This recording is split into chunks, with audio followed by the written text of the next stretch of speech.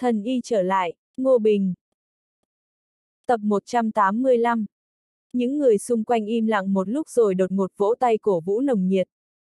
Hay lắm, anh là hảo hán, cách đó không xa, Lục Tinh Sương nhìn Ngô. Bình với ánh mắt ngưỡng mộ, người đàn ông này quả thật không đơn giản. Cô ấy tiến nhanh về phía Ngô Bình, cười, nói anh Ngô. Ngô Bình hơi bất ngờ khi thấy cô ấy, cậu nói, cô Lục, sao cô cũng xuống núi. Lục Tinh Sương, anh Ngô, tôi quen mấy người lúc nãy, họ nhà người của nhà họ âm. Ngô Bình, nhà họ âm. Lục Tinh Sương gật đầu, giờ mảnh đất này thuộc sở hữu của nhà họ gỗ, nhà họ âm là hộ khác đến nhưng thực lực rất mạnh, nghe nói đang chuẩn bị giành mảnh đất này từ tay nhà họ cổ, dùng để phát triển nghĩa trang quy mô lớn. Tôi nghe nói nhà họ âm định xây dựng 300.000 mộ phần ở đây. Ngô Bình, thì ra là người do nhà họ âm phái đến, hèn gì. Lục Tinh Sương, anh Ngô, nhà họ âm làm việc không nói nguyên tắc, lúc nấy anh đánh người của họ, nhất định phải cẩn thận. Ngô Bình gật đầu, tôi biết rồi, cảm ơn cô đã nhắc nhở. Lục Tinh Sương, anh Ngô, nhà tôi ở bên núi, anh có thời gian ghé chơi không? Ngô Bình, tôi không đến làm phiền đâu. Dường như Lục Tinh Sương đã đoán được việc Ngô Bình sẽ từ chối, cô ấy nói, anh Ngô, từ nhỏ tôi đã lớn lên trên núi, biết trên núi có một hang động, bên trong có thứ rất đặc biệt. Cô ấy nói như vậy quả thật đã khơi dậy hứng thú của Ngô Bình, cậu hỏi thứ gì đặc biệt. Lục Tinh Sương cười, nói tôi có thể dắt anh Ngô đi, đến lúc đó anh sẽ biết. Ngô Bình xoa mũi, cảm giác hình như cô gái xinh đẹp này có ý với mình, có điều sự tò mò vẫn nhiều hơn đắn đo, cậu gật đầu, nói, được, cô dẫn đường đi. Hai người họ lại lên núi, sau khi băng qua núi thì đi thêm một đoạn nữa. Mặt kia của quả núi là sườn khuất nắng, ánh nắng khá ít, vì vậy có vẻ khá âm u. Chỗ này khắp nơi đều là bụi rậm, rất khó đi lại, may mà Ngô Bình có pháp thuật nên những nơi cậu đi qua cây cỏ đều tự động nhường đường để cậu đi. Lục Tinh Sương cảm thấy rất thần kỳ, càng cảm thấy Ngô Bình thâm sâu khó lường hơn. Họ đi được mười mấy dặm đường núi thì đến một rừng cây heo hút. Lúc đến trước một ngọn núi đá lớn, Lục Tinh Sương dừng lại, nói anh Ngô, cửa vào năm dưới tảng đá này, lúc nhỏ tôi còn có thể chui vào, giờ lớn rồi, không thể chui vào được nữa. Ngô Bình ngồi xổm xuống quan sát, phát hiện đúng là bên dưới tảng đá lớn có một cửa động nhỏ bị cỏ dại che lấp. Nếu như không nhờ lục tỉnh xương chỉ thì cậu cũng rất khó tìm được cửa động khó thấy này. Cậu quan sát một lúc rồi đưa tay xuống dưới tảng đá lớn, đẩy nhẹ. Một tiếng động lớn vang lên, tảng đá lớn nặng mấy chục tấn bỗng lăn ra xa một mét, để lộ cửa động hoàn chỉnh với đường kính hơn một mét bên dưới. Ngô Bình quan sát cửa động, phát hiện nó rất sâu, bên trong tối om. Lục tinh xương, đã mấy năm rồi tôi không xuống đó, trong ký ức của tôi, chỗ này cách đáy động chừng hai mươi mấy mét. Không gian bên dưới rất rộng, anh Ngô, chúng ta vào xem thử không? Ngô Bình cười, ô Lục, cô đừng úp mở nữa, có thể nói cho tôi biết rốt cuộc thứ đặc biệt mà cô nói là gì không? Lục Tinh Sương cười, nói, thôi được, thật ra đó là một số loài nấm phát sáng, có mùi rất thơm. Còn có một số côn trùng biết phát sáng, lúc nhỏ tôi thường dắt em trai đến chơi. Ngô Bình động lòng, nấm phát sáng sao? Cô từng ăn chúng chưa? Lục Tinh Sương liền lắc đầu, chưa, bố tôi không cho tôi ăn lung tung. Ngô Bình nói, đi theo tôi. Cậu nói xong thì nhảy xuống dưới, Lục Tinh Sương cũng theo sau, hai người cùng tiến vào trong. Ngô Bình khom người, bốc một nắm đất đen, cẩn thận quan sát. Cậu phát hiện trong nằm đất đen. Đó có bột mịn lấp lánh. Cậu đưa nắm đất đen lên trước mũi để ngửi thì ngửi thấy một mùi hương nhẹ. Lục Tinh Sương hỏi, anh Ngô, đất này có vấn đề gì sao? Mắt Ngô Bình sáng lên, cậu nói, trong đất này có lẫn linh thổ, thậm chí còn có thành phần thần thổ vi lượng. Lục Tinh Sương hỏi, anh Ngô, linh thổ là gì? Tóm lại là một thứ tốt, cậu vừa nói vừa tiếp tục đi vào trong, sau khi băng qua mấy mỏm đất dài và cao mấy mét, một vài loại nấm phát sáng xuất hiện trước mặt họ, có lớn có nhỏ, đủ màu sắc. Lục Tinh Sương cười, nói, nhìn kìa, chính là những thứ đó. Ngô Bình bước nhanh đến trước một cây nấm cao hai tấc, cậu nhổ nấm lên, ngửi thử, sau đó cẩn thận cắn một miếng nhỏ bên mép, dược lực lập tức lan khắp cơ thể cậu.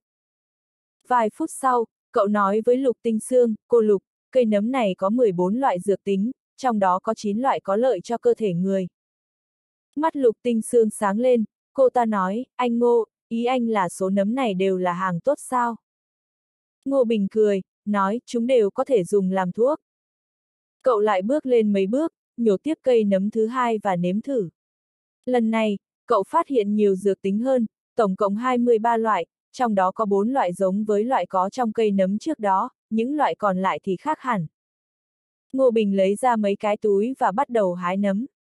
Sau khi hái được 10 bao đầy, cậu mới phát hiện cấm chế mà người ta lập ra trước đó làm méo mó cả không gian. Lục Tinh Sương chỉ về trước, nói, ở phía sau càng kỳ quặc hơn, tôi cứ vào đó là bị lạc đường, cuối cùng vẫn đi về điểm xuất phát. Ngô Bình bình thản đáp, chỗ này có cấm chế. Lục Tinh Sương hỏi, cấm chế sao? Anh Ngô, vậy chúng ta có vào đó không? Khi nào rảnh thì lại ghé. Ngô Bình cười, nói cô Lục, chúng ta lên trên trước đi. Hai người họ quay lên mặt đất, Ngô Bình lại đẩy tảng đá về lại chỗ cũ.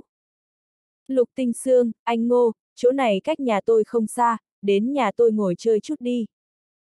Long Thành khó chối từ, Ngô Bình chỉ đành gật đầu, được, vậy thì phiền cô rồi. Họ xuống núi, đi thêm mấy dặm nữa thì đến một thôn núi nhỏ. Bên trong thôn chỉ có mấy hộ dân, nhưng hộ nào cũng tường trắng ngói xanh, rất khí phái, không giống như nơi sống của người nông thôn.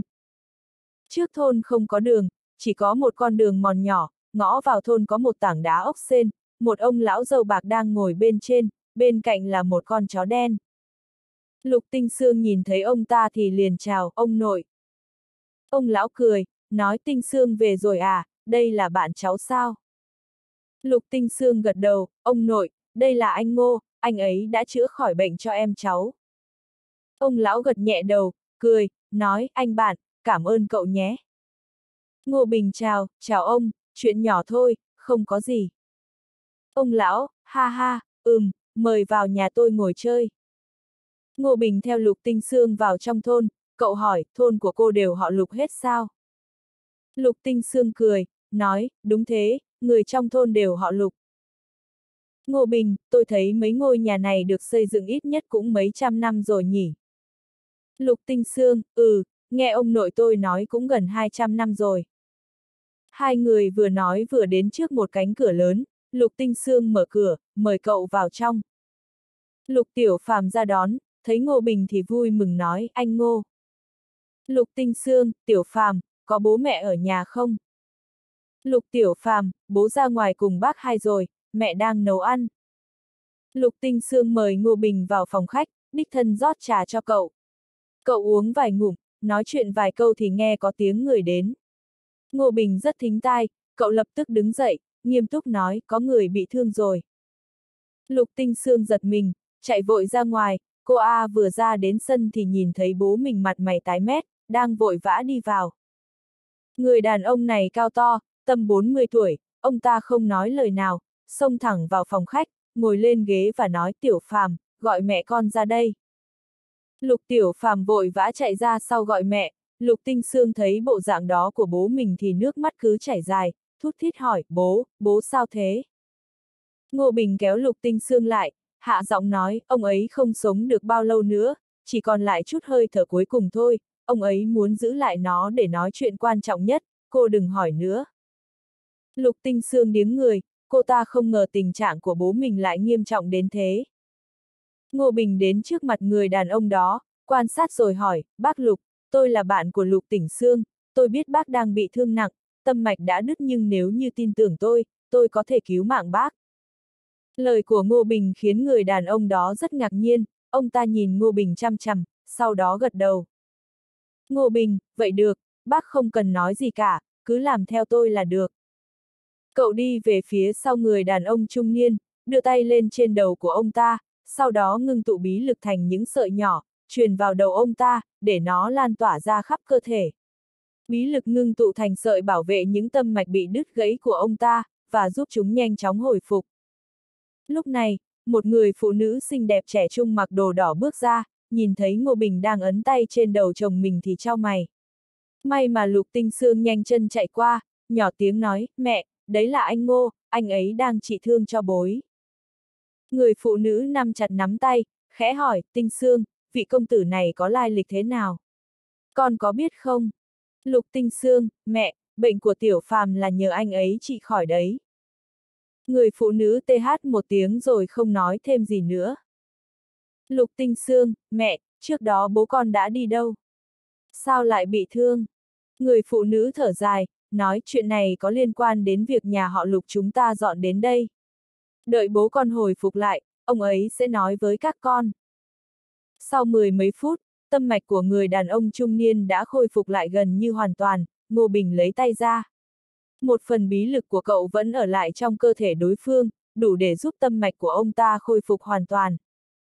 Người đàn ông trung niên mở mắt ra, muốn đứng dậy cảm ơn Ngô Bình nhưng bị Ngô Bình giữ lại. Bác Lục, khoan hãng cử động, bây giờ bác vẫn chưa bình phục hoàn toàn, cần nghỉ ngơi nửa ngày. Người đàn ông trung niên không đứng dậy nữa, nói, Lục Huyền Phong cảm ơn công tử cứu mạng. Người đó tên Lục Huyền Phong, là bố của Lục Tinh Sương và Lục Tiểu Phàm. Ngô Bình, bác Lục đừng khách sáo. Người phụ nữ đó cũng rất cảm kích, tiếng lên trước quỳ xuống cảm ơn. Bác gái khách sáo quá. Ngô Bình vội đỡ bà ta dậy.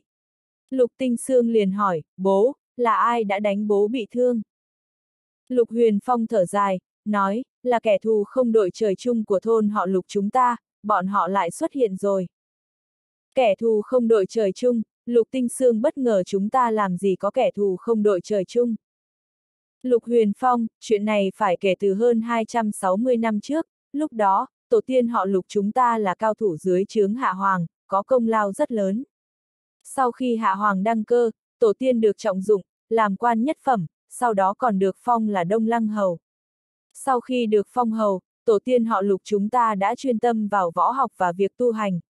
Có một lần tình cờ, lão tổ đã có được một thiên bài, trên đó có chứa võ học vô thượng, có đều, lão tổ nghiên cứu rất lâu nhưng cũng chỉ học được sơ sơ. Audio điện tử võ tấn bền. Lục tiểu phàm, vậy sau thì sao? Lục huyền phong thở dài một tiếng, sau, một vị quan to trong triều nghe thấy chuyện đó thì muốn có được thiên bia. Lão tổ không đồng ý, đối phương bèn vụ oan hãm hại người trước mặt hoàng đế. Chẳng bao lâu sau, nhà họ lục đã xa sút lão tổ bị nhốt vào ngục, cả gia tộc bị xét nhà. Có điều, lão tổ đã có chuẩn bị từ lâu, trước đó nửa tháng đã bảo. Già trẻ trong nhà rời đi, cầm thiên bia trốn vào núi sâu rừng già mãi đến ngày nay. Ngô Bình, thì ra là vậy. Lục Huyền Phong, mấy ngày trước, có mấy người bên ngoài đến đây. Lúc đó, tôi đã cảm thấy họ kỳ lạ, sau khi có lệ vài câu thì âm thầm quan sát. Hôm nay, tôi phát hiện bọn họ liên hệ với cao thủ và cũng nghe trộm được cuộc nói chuyện của họ. Có điều, thực lực của người nọ quá mạnh, nói một nửa đã phát hiện ra tôi. Tôi đánh mấy chiêu với gã thì bị thương nặng, chỉ có thể liều mạng chạy về báo tin. Ngô Bình, tu vi của bác Lục cũng không thấp, đối phương có thể đánh bác bị thương thì thực lực chắc hẳn cũng không kém. Lục Huyền Phong gật đầu, đúng vậy. Tôi cảm thấy người nọ có thể là luyện khí hậu kỳ. Lục Tỉnh Sương, bố, con sẽ đi báo cho mọi người. Lục Huyền Phong gật đầu, con đi mau đi. Lục Tinh Sương còn chưa ra khỏi cửa đã nghe thấy bên ngoài truyền đến một tiếng hét. Sau đó, cửa bị người đá văng, hơn 10 sát thủ bịt mặt mặc áo đen xông vào, vùng đao là chém. Lục Tinh Sương lắc mình lui ra sau, vừa định lấy vũ khí đã thấy một bóng người xẹt qua, hơn 10 cao thủ kia lập tức ngã xuống đất, miệng mũi trào máu, chết tươi tại chỗ. Người ra tay chính là Ngô Bình, cậu nhìn thoáng qua ngoài cửa rồi cau mày nói, có rất nhiều cao. Thủ đang chạy đến, xem ra đối phương đã ra tay. Lục Huyền Phong hoảng sợ, đứng bật dậy, cắn răng nói, liều mạng với họ. Ngô Bình có hơi khó xử, thực ra cậu không muốn nhúng tay vào chuyện của nhà người khác. Nhưng cố tình mình lại quen Lục Tỉnh Sương, còn chữa trị cho Lục Huyền Phong nên đã chẳng thể ngó lơ nữa rồi. Cậu khẽ thở dài rồi nói, bác Lục đừng lo, để tôi đi ra ngoài xem thử. Cậu nói xong thì hóa thành một cái bóng đen biến mất trước mặt mọi người. Lục Huyền Phong thấy được thân pháp của Ngô Bình thì không khỏi thốt lên, thân pháp lợi hại thật. Cậu Ngô này ít nhất cũng là cao thủ bí cảnh. Ngô Bình lao ra sân thì thấy có rất nhiều cao thủ đang tràn vào thôn, ít nhất cũng phải cả trăm người. Tu vi của những sát thủ ấy cũng không cao lắm, đa số là luyện khí hậu kỳ, còn có một vài người là cao thủ bí cảnh. Bọn họ ra tay cực kỳ tàn nhẫn, xông vào nhà nào cứ thấy người là giết. Trong căn nhà gần đó, có đôi vợ chồng trẻ bị giết chết, đứa nhỏ khóc lóc nhào về phía xác chết của mẹ, một gã áo đen vung dao lên bổ xuống. Âm! Bỗng có một nắm tay đấm lên người gã khiến gã bay ra mấy mét, sau đó người nọ lập tức ôm lấy đứa trẻ. Người ra tay chính Ngô Bình, cậu thả đứa nhỏ vào phòng rồi đi ra cầm lấy một thanh đao, múa may tạo ra đao khí dập trời xông về phía đám người kia. Máu tươi bắn ra, những sát thủ ở đây không có ai là đối thủ của cậu, chỉ mấy vài giây, trong sân đã ngổn ngang xác chết. Cả thôn đều bị bao phủ bởi tiếng la hét giết chóc, thôn dân anh dũng chống trả, còn có sự tham gia của Ngô Bình nên đám sát thủ lập tức cảm thấy cực kỳ áp lực. Ngay khi sát thủ đã chết một phần ba thì có người hô lên một tiếng, sau đó đám người áo đen kia lập tức rút lui. Ngô Bình đuổi theo giết thêm mấy tên, còn lại thì thả họ rời đi. Quay về thôn, chỉ thấy nhà nào cũng có người chết. Thôn họ lục có hơn 100 hộ, 37 người trong đó có nam nữ già trẻ bị giết, 40 người bị thương, thương vong nặng nề. Nhà nào cũng vang lên tiếng rên khóc, Lục Huyền Phong đứng trước cửa mà nước mắt như mưa. Ông lão trước đó bị đứt một tay, trên mặt cũng có một vết đau đẫm máu. Ông ta cố nhịn đau kiểm tra từng nhà. Ngô Bình cũng không nói gì mà chỉ dốc hết sức chữa trị cho người bị thương. Sau khi cầm máu cho mọi người, cậu bèn nói với Lục Huyền Phong, bác Lục, rõ ràng mục đích của đối phương chính là muốn giết người diệt khẩu. Lần này không thành công thì chắc chắn họ sẽ đến tiếp một lần nữa. Lục Huyền Phong thở dài, đúng vậy, thôn họ Lục này không thể ở lại được nữa. Nhưng mà, chúng tôi có nhiều người bị thương như vậy, lại già trẻ đều có thì có thể đi đâu. Ngô Bình suy nghĩ một lát rồi nói, hay là vậy đi. Tôi bảo người sắp xếp chỗ ở cho mọi người, sau đó lại nghĩ cách. Lục Huyền Phong vội vàng nói, vậy thì tốt quá, cảm ơn cậu Ngô. Sau đó, Ngô Bình gọi điện cho nghiêm lãnh thạch hỏi ông ta có thể tìm được 10 cái trực thăng không vì cậu định vận chuyển mấy chục người đến nơi an toàn. Nghiêm lãnh thạch lập tức đồng ý rồi hỏi rõ vị trí. Nửa tiếng sau, 10 cái trực thăng lần lượt hạ xuống cửa thôn, mọi người xếp hàng leo lên trực thăng rồi được vận chuyển đến cùng một nơi. Khi chiếc trực thăng cuối cùng hạ xuống, Lục Huyền Phong lại không có leo lên mà trần chờ một lát rồi nói với Ngô Bình, cậu Ngô, cậu còn nhớ thiên bia mà tôi nói không? Ngô Bình gật đầu, nhớ. Lục Huyền Phong, thế hệ con cháu của nhà họ Lục hầu như đều nghiên cứu thiên bia, tiếc là không thu hoạch được gì. Cậu Ngô có ân với nhà chúng tôi, tôi và những trưởng lão trong tộc đã bàn bạc và quyết định tặng nó cho cậu. Ngô Bình nói, thiên bia cực kỳ quan trọng với nhà họ Lục, tôi không thể nhận được. Lục Huyền Phong, cậu Ngô đừng từ chối, chúng tôi thật sự muốn tặng nó cho cậu. Nếu không có cậu thì chúng tôi chẳng những không giữ được thiên bia, mà cả nhà họ Lục cũng sẽ bị giết sạch. Ngô Bình thấy ông ta thật lòng muốn tặng bèn nói, vậy được rồi. Lục Huyền Phong dẫn Ngô Bình đến một hộ, mở một cánh cửa ra rồi dẫn Ngô Bình vào. Sau khi đi được mấy trăm mét đã đến một mảnh đất khá rộng. Chỉ thấy bên trong có một tấm bia đá bằng đồng cao 3 mét, được phủ vải đỏ bên ngoài. Lục Huyền Phong, cậu Ngô, cậu có thể tìm người chở nó đi. Ngô Bình bước tới nhìn thoáng qua rồi vung tay lên, cất nó vào nhẫn chữ vật. Lục Huyền Phong ngơ ngác nhìn, cảm khái, không ngờ cậu lại có pháp khí chữ vật, đúng là khiến người ta phải hâm mộ. Ngô Bình, bác Lục, chúng ta đi thôi, trực thăng vẫn đang chờ. Vì vậy, đám Ngô Bình ngồi chiếc trực thăng cuối cùng đi tới nơi mà nghiêm lãnh thạch đã sắp xếp, đó là một ký túc xá dành cho công nhân của một nhà máy tư nhân. Nơi này có một khu sinh hoạt rộng lớn, vốn có mấy trăm công nhân ở. Sau này, nhà máy ngừng hoạt động, nơi này cũng tạm thời bỏ hoang. Sau khi sắp xếp cho mọi người xong, Ngô Bình gọi nghiêm lãnh thạch tới nói, ông chuẩn bị một chút đồ dùng sinh hoạt hàng ngày rồi tìm vài đầu bếp tới đây. Nghiêm lãnh thạch cũng không hỏi nhiều, chỉ nó âng, chủ nhân yên tâm, tôi chắc chắn sẽ chăm sóc cho họ thật tốt. Cô Lục, cô tới đây một lát, Ngô Bình gọi Lục Tinh Sương. Vẻ mặt Lục Tỉnh Sương có chút ngơ ngác, xảy ra chuyện lớn như vậy, cô ta vẫn chưa thể khôi phục lại được từ trong trận giết chóc đầy máu me kia. Được, Lục Tinh Sương hoàn hồn lại, bị Ngô Bình gọi vào văn phòng bên cạnh. Cô Lục, trong khoảng thời gian này, thôn dân nhà họ lục các cô cứ tạm ở đây đã. Các cô cần gì cứ việc nói với người nơi này, hoặc có thể trực tiếp gọi cho tôi. Đôi mắt xinh đẹp của Lục Tinh Sương rưng rưng rồi gật đầu thật mạnh, anh Ngô, cảm ơn anh rất nhiều. Nếu hôm nay không có anh thì thôn chúng tôi tiêu rồi. Ngô Bình vỗ vai cô ta nói, mọi chuyện đều đã trôi qua, mọi thứ sẽ dần tốt hơn. Sau khi sắp xếp xong, Ngô Bình bèn tìm một nơi im lặng lấy tấm bia bằng đồng kia ra. Cậu muốn xem thử, bên trên cái gọi là thiên bia này rốt cuộc ghi lại võ đạo gì mà lại khiến người ta nhớ mãi cả mấy trăm năm. Ngô Bình mở tấm vải đỏ trên bia đồng ra, trên đó khắc hàng trăm phù văn trông rất kỳ lạ, nếu lấy bừa một trong những phù văn này ra, không ai có thể hiểu được ý nghĩa của nó. Nhưng những phù văn nhìn có vẻ lộn xộn này được xếp chung với nhau, dường như ẩn chứa điều bí ẩn nào đó. Tấm bia này ẩn chứa võ học vô thượng thật sao, Ngô Bình cảm thấy ngờ vực, nhìn chằm chằm những phù văn này suy ngẫm. Từng giây từng phút trôi qua, một tiếng sau, cậu vẫn không thu hoạch được gì, thế là đi đến trước tấm bia đồng, sờ lên phù văn trên đó. Khi tay cậu chạm vào những phù văn này, cậu lại có cảm giác kỳ lạ. Phù văn truyền đến chút rung động nhẹ, cảm nhận được rung động này, đầu ngón tay cậu cũng chấn động, cho đến khi chấn động ở hai đầu đồng điệu. Lúc này cậu cảm nhận được một nguồn sức mạnh huyền diệu hội tụ lại nơi nào đó trên người cậu.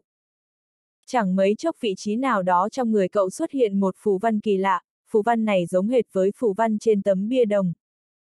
Khi phù văn hiện ra đầy đủ, cảnh tượng đáng kinh ngạc xuất hiện, phù văn trên tấm bia đồng bỗng chốc biến mất để lại một khoảng trống. Ngô Bình trầm ngâm suy nghĩ, lần lượt đặt ngón tay lên từng phù văn, kết quả đều như nhau, những phù văn này lần lượt đi vào trong người cậu, sau đó phù văn trên tấm bia lập tức biến mất. Sau khi số phù văn trong người tăng lên, Ngô Bình cảm thấy chúng dần kết nối thành một thể thông qua cơ thể và tinh thần của cậu. Nhưng phù văn có yêu cầu cực cao về thể chất và tinh thần, sau khi hấp thụ khoảng 70% phù văn, cậu cảm nhận được chút áp lực. Sau khi hấp thụ 80% phù văn, cậu cảm thấy cơ thể mình sắp đến giới hạn. Lúc này cậu xoay ngược thiên cơ tăng sức chịu đựng của cơ thể mình lên gấp 9 lần. Lúc này cậu mới cảm thấy dễ chịu hơn, tiếp tục hấp thu phù văn. Khi phù văn cuối cùng xuất hiện trên người cậu, cả người cậu phát sáng, tất cả phù văn tạo thành một trận pháp vô song thông qua cơ thể. Nhưng bởi vì tu vi có hạn, hiện giờ trận pháp này chỉ có thể phát huy tác dụng trong phạm vi nhất định, đó là biến cơ thể của Ngô Bình thành võ cốt tiên thiên, tăng giới hạn tiềm năng và võ học của cậu lên. Sau khi hấp thụ hết tất cả phù văn, Ngô Bình đứng đó cảm nhận nó một lúc rồi mới quay trở lại ký túc xá của nhà máy. Lúc này các nhân viên y tế và nhân viên phục vụ do nghiêm lãnh thạch cử đến đều đã có mặt, những người bị thương đã được điều trị, phòng bếp phía sau cũng bắt đầu trở nên bận rộn, mùi thơm thức ăn phảng phất. Thậm chí ở khoảng đất không cách đó không xa còn được khai thác thành một khu vui chơi cho trẻ em, bên trong có rất nhiều đồ chơi dành cho trẻ con. Lục Tinh Sương bận rộn trước sau, chăm sóc người già, người ở thôn nhà họ Lục đều được chuyển vào chỗ ở có điều kiện tốt. Lục Huyền Phong gọi Ngô Bình đến, ông ta bước đến hỏi, cậu Ngô có thu hoạch gì không? Ngô Bình gật đầu, lĩnh hội được một ít. Lục Huyền Phong mừng rỡ, nói cậu Ngô, mời cậu đi theo tôi. Ông ta dẫn Ngô Bình đến một ký túc xá lớn hơn, lúc này có vài vị trưởng lão ở bên trong. Họ đều biết chuyện Lục Huyền Phong đưa thiên bia cho Ngô Bình, trong mắt mọi người đều hiện lên vẻ chờ mong. Lục Huyền Phong kìm chế vẻ vui mừng xuống nói, các vị chú bác, cậu Ngô thành công rồi. Ông lão bị gãy tay đó đứng lên hỏi, cậu Ngô, cậu lĩnh hội được bao nhiêu? Ngô Bình không tiện nói quá nhiều bèn nói, khoảng 30%. Mọi người ngạc nhiên, sau đó là vui mừng khôn xiết, các trưởng lão trao đổi ánh mắt với nhau, sau đó đều lấy một quyển sách từ trong ngực ra. Năm người lấy ra năm quyển sách nhỏ ra, mỗi quyển đều dày bằng ngón tay. Họ đặt năm cuốn sách lên bàn, ông lão gãy tay nói, cậu ngô, năm đó khi tổ tiên của tôi lấy được thiên bia, họ cũng lấy được năm cuốn tuyệt học thần công này. Tuyệt học này quá sâu xa, tổ tiên không thể tu luyện được, nếu không cũng chẳng rơi vào kết cục bị tịch thu tài sản. Bây giờ nếu cậu ngô đã lĩnh hội được nội dung trên thiên bia thì chắc chắn cũng có thể tu luyện được năm tuyệt học này. Thật ra Ngô Bình không cần những thứ như tuyệt học thần công, dù sao cậu cũng là người tu hành, nếu cậu tùy ý tu luyện một bí thuật, bí kỹ nào thì uy lực sẽ mạnh hơn tuyệt học này rất nhiều. Nhưng thấy những người này mong đợi như vậy, cậu cũng chỉ có thể cầm lấy quyển sách lên, chắp tay lại nói, mọi người cứ yên tâm, tôi nhất định sẽ cố gắng luyện tập. Lục Huyền Phong cười nói, cậu ngô, năm tuyệt học này là tuyệt học mạnh nhất của năm vị võ tiên đứng đầu từ xưa đến nay, cho nên người bình thường không thể tu luyện. Tu vi của cậu rất cao, chắc chắn có thể tu luyện được, mong thứ này có thể giúp được cho cậu. Ngô Bình nói, cảm ơn sự yêu mến của mọi người. Sau này chuyện của vùng đất nhà họ Lục đều là chuyện của tôi, chúng ta yên tâm nghỉ ngơi ở đây. Đợi đến thời điểm thích hợp, tôi sẽ sắp xếp một nơi thích hợp cho các vị. Sau đó cậu hỏi Lục Huyền Phong, bác Lục, có chắc sát thủ là kẻ thù của các bác không? Lục Huyền Phong gật đầu, chắc chắn là thế, mặc dù bọn tôi sống ẩn giật ở đây, nhưng mấy năm nay bọn tôi luôn bí mật điều tra tình hình của kẻ thù. Mặc dù kẻ thù chưa chết nhưng gia tộc vẫn có thế lực mạnh ở Hạ Quốc. Gia tộc nào, cậu hỏi tiếp. Nhà họ Kim, Lục Huyền Phong nói, gia chủ của thế hệ này tên là Kim Linh Hoán, nhà họ Kim dựa vào cây cao bóng cả của tổ tiên mà đã trở thành gia tộc tu hành ở Hạ Quốc, trong gia tộc có rất nhiều cao thủ. Ngô Bình gật đầu, vâng, cháu biết rồi.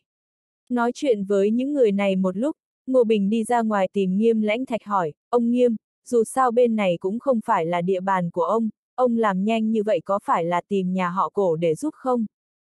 Nghiêm Lãnh Thạch gật đầu, đúng thế chủ nhân, tôi đã đi tìm cô cổ.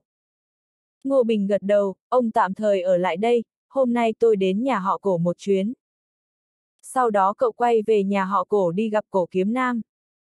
Trước đó cổ kiếm nam về lại thung lũng nhưng không thấy Ngô Bình, thế là tạm thời về đây. Lúc này lại nhìn thấy cậu bèn hỏi, cậu Ngô, cuối cùng cậu cũng về rồi. Ngô Bình, tôi gặp được người nhà họ âm nên ra tay dạy dỗ một phen. Nói đến nhà họ âm, cổ kiếm nam nói, nhà họ âm từng tìm tôi để thương lượng, họ hẹn tôi ngày mai lên núi gặp mặt, có vẻ là muốn lật bài ngửa đấy. Ngô Bình, như thế cũng tốt, nói rõ ràng để người nhà họ âm không còn hy vọng. Cổ kiếm nam, cậu ngô, tôi nghe nói nhà họ âm tìm được một trợ thủ rất mạnh, chuyện ngày mai mong cậu ngô đi với tôi. Ngô Bình, bác cổ yên tâm, nếu tôi đã để tâm đến chuyện này thì dĩ nhiên sẽ đi đến cùng. Lúc này cậu nghĩ đến loại nấm tìm được trong thung lũng bèn hỏi, bác cổ, nhà họ cổ có lò đan phải không? Cổ kiếm nam sừng sốt, sau đó suy tư một lúc rồi nói, tôi nhớ hình như trong đống đổ bỏ ở nhà kho có một lò luyện đan, chỉ là lò luyện đan không được dùng đến lâu rồi, cũng không biết có còn sử dụng được hay không. Sau đó ông ta trợn to mắt, cậu ngô biết luyện đan à? Trong đầu cậu đã có khá nhiều kiến thức luyện đan, bây giờ tu vi cũng đã đủ, chỉ là vẫn chưa bắt tay vào làm. Giờ tìm được không ít nấm, vừa lúc có thể thử. Cho tôi mượn xem một chút. Trong một sân vườn thanh tĩnh của nhà họ gỗ, lò đan đó được người làm khiêng đến. Lò đan cao khoảng 2 mét, nặng 1.000 cân. Nhìn thấy lò đan, Ngô Bình bước đến võ vài cái, lại quan sát tình hình bên trong, cười nói, phẩm tướng của lò đan này khá tốt, hơn nữa vẫn chưa hỏng. Cậu rửa sạch lò luyện đan, sau khi làm ấm lò thì lấy 5 loại nấm ra, cho vào trong và bắt đầu luyện chế một loại đan dược khá đơn giản. Loại đan dược này không có tên, là loại mà cậu dựa trên dược tính của năm loại nấm nghĩ ra được, hiệu quả chắc cũng không tồi. Mẻ đầu tiên là đan dược đã được luyện thành ngay, tổng cộng có 5 viên, màu vàng óng, tỏa hương thơm ngát. Cậu uống một viên để cảm nhận hiệu quả của đan dược, một lúc sau, cậu gật đầu, lẩm bẩm, loại đan dược này có công dụng bổ nguyên khí, luyện hình thể, vậy gọi là bổ khí luyện hình đan. Cổ kiếm nam luôn túc trực ở bên ngoài, nghe có tiếng động thì đẩy cửa bước vào, lúc nhìn thấy đan dược trong tay Ngô Bình, ông ta thốt lên, thành công rồi. Ngô Bình cười, nói, đây là bổ khí luyện hình đan, không phải đan dược quý hiếm gì. Cậu nói xong thì đưa qua cho cổ kiếm nam. Cổ kiếm nam đưa hai tay ra nhận lấy, cảm thán, công tử đúng là thiên tài, trong số những người tôi quen biết, cậu là người đầu tiên biết luyện đan. Tiếp đó, Ngô Bình lại lấy số đan dược mua được ở chợ đêm và số hàng dự trữ trước đó ra, miễn cưỡng luyện được một mẻ thiên tuế đan. Trước đây cậu đã muốn luyện loại thiên tuế đan này, chỉ là mãi chưa thành công, lần này vừa hay luyện được. Thiên tuế đan có thể nâng cao khả năng tiềm ẩn của con người đến mức tối đa, cường hóa thể chất, kéo dài tuổi thọ. Nếu có thể luyện được thì vừa hay có thể cho bố mẹ uống, để họ có được sức khỏe tốt. Luyện thiên tuế đan cần một số dược liệu khác nữa, cậu tìm được một số nấm mới miễn cưỡng luyện được. Lúc bắt đầu luyện đan, cậu tập trung toàn bộ tinh thần, không dám lơ là phút nào, sau gần nửa tiếng, cậu bỗ tay phải, nắp lò luyện đan văng ra, một luồng đan khí bay lên, cậu lập tức thi triển đan quyết, dùng hai tay giữ chặt lấy nó. Đan khí bị hai tay cậu giữ chặt thì ngưng tụ thành ba viên đan dược, viên nào cũng nhỏ bằng quả nhãn, màu xanh lá, phát ra ánh sáng mờ mờ, thơm nước mũi. Cậu quan sát đan dược, cười, nói, không tồi, đan dược thượng phẩm cấp 4. Cậu cất đan dược vào, nghỉ ngơi một lát thì cổ thanh liên tìm đến. Cổ thanh liên vừa tan ca về nhà thì đã vội đến tìm Ngô Bình. Em trai, từ bảo càn bảo chị hỏi cậu, phải chăng đã có tung tích của công pháp rồi? Ngô Bình nghe cô ta hỏi thì mới nhớ ra chuyện mình hứa với từ bảo càn, cậu vỗ nhẹ lên đầu, nói tôi quên mất, không sao, bây giờ tôi sẽ giúp ông ta sắp xếp lại, chị bảo từ bảo càn trong vòng một tiếng đồng hồ phải đến đây. Sau đó, cậu lại tự nhốt mình trong phòng, mượn lăng thiên kính sửa chữa lại công pháp mà từ bảo càn tu luyện. Sau một tiếng đồng hồ, cậu ra khỏi phòng, hỏi chị, từ bảo càn đã xuất phát chưa? Cổ thanh liên gật đầu, xuất phát rồi, 10 phút nữa sẽ đến. Em trai, cậu đã xử lý xong rồi sao? Ngô Bình, ừ, tôi đã giúp ông ta sắp xếp lại công pháp, sau này ông ta tu luyện sẽ không có trở ngại gì nữa. Cổ Thanh Liên, em trai, nếu có thể giúp từ bảo càn giành lại vị trí thế tử thì sẽ có lợi cho cậu, dù gì thì bây giờ ông ta cũng là người của cậu. Ngô Bình, tôi giúp ông ta nhưng chưa chắc ông ta đã thành công được, tất cả đều phải dựa vào may mắn của ông ta. Cổ Thanh Liên, phải rồi em trai, ngày mai phải giao đấu với nhà họ âm, chị nghe bố nói cậu cũng qua đó sao? Ngô Bình, ừm, nếu tôi không đi thì e rằng nhà họ cổ sẽ không phải là đối thủ của nhà họ âm. Cổ Thanh Liên, nhưng nhà họ âm đã tìm một người rất lợi hại đến, em trai, cậu nhất định phải cẩn thận đó. Ngô Bình nghe cô ta nói có vẻ nghiêm trọng thì hỏi, là ai? Cô ta liền nói cho Ngô Bình biết, người đó tên là Vương Liên, là một cao thủ võ học cao thâm. Ở thế giới trần tục, tu sĩ cấp thấp đều phải học võ để nhập môn, nhưng cuối cùng, phần lớn trong số họ đều vì dấn thân vào con đường tu tiên mà từ bỏ võ học. Nhưng cũng có số ít trong những người đó không từ bỏ mà ngược lại còn nhờ vào thủ pháp tiên đạo để phát triển võ học, những người đó được gọi là võ tiên. Đương nhiên, thực lực của võ tiên cực kỳ lớn mạnh. Ở cùng một cảnh giới, một võ tiên có thể đánh bại 10 tu sĩ cùng cấp. Một số võ tiên mạnh thì còn ghê hơn, thậm chí họ có thực lực mạnh đến mức có thể giết chết được kẻ thù ở cấp cao hơn. Ngô Bình nghĩ đến năm loại tuyệt học thần công mà mình có được thì hứng thú hỏi, là một võ tiên sao? Không tôi, ngày mai tôi sẽ đến gặp người đó thử. Một lúc sau, từ bảo càn đến, Ngô Bình truyền thụ công pháp đã chuẩn bị cho ông ta và bảo ông ta tu luyện tại đó để cảm nhận hiệu quả. Ngô Bình cũng không ở khôn, cậu mở quyển sổ mà nhà họ Lục đưa cho mình thì thấy tờ mở đầu viết bốn chữ lớn tiếp giãn thần công. Nói trắng ra, tiếp dẫn thần công này chính là mượn sức mạnh chống lại sức mạnh. Nếu như đẳng cấp cao hơn chút nữa thì có thể mượn sức mạnh của thiên địa để sử dụng. Ngô Bình nhìn sơ qua thì biết tu luyện tiếp dẫn thần công rất khó, không chỉ phải có thể chất đặc biệt mà còn phải có ngộ tính cực cao. Có điều bây giờ cậu có võ cốt nên chỉ cần tùy tiện luyện thử là đã thành công ngay. Cổ thanh liên đang ở gần đó, tự dưng cậu thốt lên chị, chị qua đánh tôi đi, dùng binh khí cũng được. Cổ thanh liên ngơ ngác, đánh cậu, tại sao chứ? Ngô Bình, tôi kiểm chứng võ công mình vừa luyện thành thử. Cổ thanh liên gật đầu, cô ta không dám dùng kiếm, chỉ dùng nắm đấm. Cô ta đánh cậu một đấm, bàn tay phải của Ngô Bình chỉ đỡ nhẹ, một luồng sức mạnh kỳ lạ chấn động, sau đó cổ thanh liên liền cảm thấy sức mạnh nắm đấm vừa rồi của mình bị dội ngược lại, cánh tay cô ta tê dại, rồi bị Ngô Bình nhẹ nhàng đẩy ra. Cô ta tròn mắt, nói, đấy là võ công gì? Ngô Bình thấy chưa đã, nói chị dùng kiếm đi, dốc hết sức tấn công tôi. Cổ thanh liên liền rút kiếm, lấy hết sức đâm về phía ngực Ngô Bình. Ngô Bình đưa tay phải ra cản từ xa, một trường lực méo mó hình thành, kiếm của cổ thanh liên liền bị đẩy ra, đồng thời cô ta cũng trao đảo, ngã về phía Ngô Bình. Ngô Bình ôm lấy eo cô ta, nhân cơ hội sờ eo rồi cười, nói chị cổ, võ công của tôi thế nào? Cổ thanh liên đỏ mặt, vừa vui vừa giận trả lời. Tiếp tục, cổ thanh liên thử liên tục mấy lần, nhưng dù cho dùng hết sức tấn công cũng không cách nào tiếp cận cậu, ngược lại còn bị cậu ôm mấy lần. Đó là vì Ngô Bình không làm hại cô ta, nếu đổi lại là kẻ thù thì đã chết đến mấy lần rồi. Đấy chỉ mới là tiếp dẫn thần công tầng thứ nhất, sau đó, Ngô Bình lại tiếp tục luyện tầng thứ hai.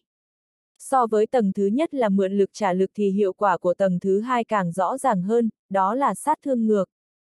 Người khác đánh cậu 10 phần lực thì cậu có thể hóa giả 3 phần, phản công 5 phần và hấp thụ 2 phần, việc vừa hóa giải vừa phản đòn có thể lấy yếu thăng mạnh, lấy một địch 10. Thể chất của Ngô Bình rõ ràng là được sinh ra để học võ, cậu lại luyện thêm 2 tiếng đồng hồ, hoàn thành tầng thứ hai. Lúc này trời đã chập tối, từ bảo càn cũng có động tính, một luồng khí thức mạnh mế bộc phát, ông ta đẩy cửa bước ra. Từ bảo càn vừa đột phá được một cảnh giới, vẻ mặt tràn ngập niềm vui, cúi đầu cảm tạ, nói cảm ơn cậu chủ chỉ bảo. Ngô Bình gật đầu, nói ừm, không có gì, ông tiếp tục luyện đi. Từ bảo càn, vâng. Vừa đúng lúc, ông qua thử thần công tôi vừa luyện được đi. Tiếp đó, cậu để từ bảo càn thay cổ thanh liên, giúp cậu kiểm chứng tiếp dẫn thần công tầng thứ hai. Sau khi tu luyện một tiếng đồng hồ, từ bảo càn bị đánh đến mình mẩy ê ẩm, miệng sùi bọt máu thì mới được Ngô Bình cho phép nghỉ ngơi. Sau khi thuần thục với tầng thứ hai, Ngô Bình lại tiếp tục lĩnh ngộ tầng thứ ba.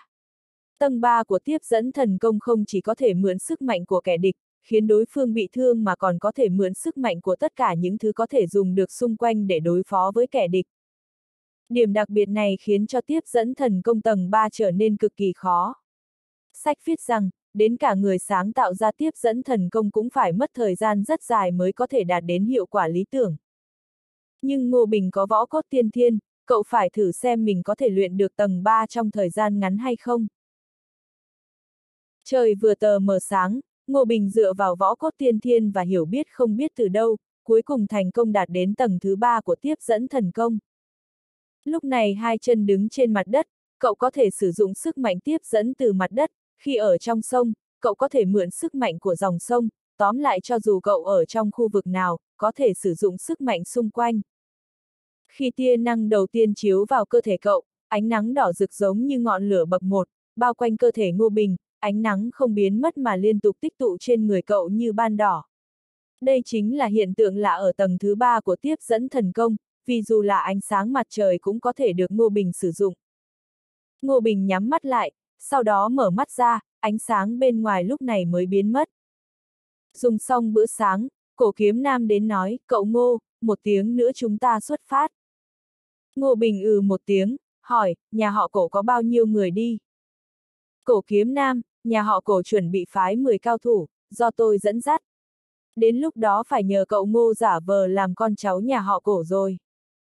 Ngô Bình hiểu ra vấn đề, nhà họ cổ làm thế là không muốn thân phận của cậu bị bại lộ trước, muốn trừ lại cơ hội xoay chuyển sau đó. Cổ Thanh Liên cũng đến, cô ta nói, Ngô Bình, tôi đi với cậu. Ngô Bình gật đầu, sau khi luyện tiếp giãn thần công đến tầng thứ ba, cậu rất tự tin về thực lực của mình, có cổ thanh liên đi cùng chắc chắn không có vấn đề gì. Cổ thanh liên mừng rỡ, mọi người đã chuẩn bị xong, sau đó bèn lên đường đến thung lũng.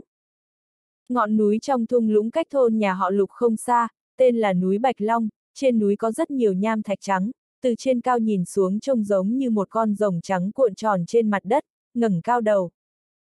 Một nhóm người đáp xuống đỉnh núi Bạch Long, sau khi đáp xuống, Ngô Bình đưa tay sờ vào mặt rồi biến thành dáng vẻ của một người khác, cậu trông khoảng 20 tuổi, mặt ngăm đen, miệng hơi đưa ra ngoài, mái tóc xanh, rất nổi bật trong đám đông. Lúc này bên trên đã có không ít người nhà họ âm tụ lại một chỗ đợi người nhà họ cổ. Hai bên đáp xuống phía đông và phía tây đỉnh núi, cách nhau mấy chục mét. Họ đều không lên tiếng chào nhau, người các bên đều thấp giọng bàn bạc. Cổ kiếm nam dặn dò vài câu rồi đi sang, trầm giọng hỏi, hôm nay nhà họ âm cử ai ra nói chuyện. Bên nhà họ âm có chừng 20 người, có một người đàn ông trung niên bước ra từ trong đó, mặt đen tai ngắn, tóc xoăn, đôi mắt như chuông đồng, ông ta cao giọng nói, tôi là âm phục hổ, đại diện cho nhà họ âm nói chuyện với nhà họ cổ. Cổ kiếm nam, tôi là cổ kiếm nam, đại diện cho nhà họ cổ nói chuyện với nhà họ âm ông. Âm phục hổ thờ ơ nói, vậy thì tôi sẽ đi thẳng vào vấn đề, có gì nói đó. Nhà họ âm bọn tôi chỉ một điều kiện, là nhà họ cổ rời khỏi khu vực này, nhà họ âm sẽ sẵn lòng trả 30 tỷ tệ để bồi thường. Cổ kiếm nam cười lạnh, 30 tỷ. Một ngôi mộ ít nhất cũng đáng 500.000 chứ. Các ông bán 60.000 ngôi mộ thì đã có được 30 tỷ rồi, số tiền bán sau đó sẽ là lợi nhuận. Các, ông nghĩ nhà họ cổ bọn tôi sẽ đồng ý một thỏa thuận phi thực tế như vậy à? Âm phục hổ như đã biết trước được điều này. Ông ta lạnh lùng nói, không đồng ý cũng chẳng sao, chúng ta giải quyết theo quy tắc giang hồ. Ông ta vung tay lên, một người thanh niên xuất hiện ở phía sau, khoảng chừng 20 tuổi, xuất chúng, mặt bộ đồ trắng thanh khiết, đôi mắt sáng như sao. Âm phục hổ, đây là thế hệ trẻ của nhà họ âm bọn tôi, âm giáp phù. Nhà họ cổ các ông cũng có thể phái một người ra đây để hai bên quyết chiến. Sau trận đấu này còn hai trận nữa, ba trận quyết đấu, chỉ cần nhà họ cổ có thể thắng hai trận, nhà họ âm bọn tôi sẽ lập tức rút lui, không còn ý định nào với khu đất này nữa. Nói rồi ông ta lại bổ sung, đương nhiên nếu nhà họ cổ các ông không có cao thủ trẻ tuổi cũng có thể mời tiếp viện bên ngoài. Cổ kiếm nam không nhiều lời nói, được thôi, trận đầu tiên, nhà họ cổ cũng cử ra một người. Sau đó ông ta xoay người nói, cổ trùng lâu, đến lượt cháu đớ. Cái tên cổ trùng lâu là do Ngô Bình vừa mới tự đặt, cậu lập tức đứng dậy, cười ngây ngô đi đến bên cạnh cổ kiếm nam, trầm giọng hỏi, chú ba, đánh người nào ạ? À? Cổ kiếm nam chỉ vào âm giáp phù phía đối diện nói, trùng lâu, đánh bại cậu ta thì chúng ta thắng. Cháu đừng nương tay, đánh chết cũng không sao. Cổ trùng lâu gật mạnh một cái, cháu biết rồi chú ba, vậy cháu đánh chết hẳn. Nghe thấy cuộc nói chuyện quá mức ngông cuồng, âm giáp phù cười nhạo, hắn bước đến trước mấy bước, cao giọng nói, tên ngốc, qua đây nhận lấy cái chết này. Cổ trùng lâu trợn mắt nói, hừ, bớt khoác lác đi, tôi chỉ cần ba quyền là đánh chết anh đấy. Nói rồi cầu sải bước đi về phía âm giáp phù, âm giáp phù khế cười nhạo, trong mắt hắn động tác của Ngô Bình vừa ngu xuẩn vừa chậm chạp, thoạt nhìn không giống cao thủ chút nào. Thế nên lúc Ngô Bình vừa đến gần, hắn thi triển bí kỹ cực mạnh, biến thành hư ảnh đánh một quyền vào cổ cậu. Động tác của hắn cực kỳ nhanh, người ngoài không nhìn thấy rõ, chỉ cảm thấy hắn như biến thành màn xương. Ngay khi âm giáp phủ biến thành màn xương, cổ trùng lâu đánh ra một quyền. Âm. Một âm thanh cực lớn vang lên, âm giáp phủ bị đánh đến mức treo trên không trung. Cú đấm của cổ trùng lâu đánh trúng vào ngực hắn. Âm giáp phủ trợn to mắt, bí pháp của hắn không có sơ hở nào, cậu ta đánh chúng mình bằng cách nào vậy? Hơn nữa hắn cảm thấy thực lực của đối phương cực kỳ đáng sợ, một quyền này gần như khiến hắn mất đi khả năng phản kháng. Anh, phụt. Ngô Bình thừa cơ đánh thêm một quyền khiến âm giáp phù chảy máu mũi, văng ra xa, gương mặt lõm vào trong, sau đó đập mạnh cả người xuống đất. Cậu còn muốn đánh quyền thứ ba, người nhà họ âm vội vàng âm giáp phù, họ đều nhìn ra nếu lại có thêm quyền thứ ba, âm giáp phù chắc chắn sẽ chết. Ngô Bình nhíu mày, giọng ồm ồm hỏi, không đánh nữa sao? Sắc mặt người nhà họ âm cực kỳ khó coi, âm phục hổ kiểm tra vết thương cho âm giáp phủ xong, tâm trạng lại càng tồi tệ, ông ta quay đầu lại trợn mắt nhìn Ngô Bình. Ngô Bình cũng trợn mắt với ông ta, ông không phục. Nếu không phục thì có thể đánh với tôi, tôi đánh chết cái tên khốn kiếp ông.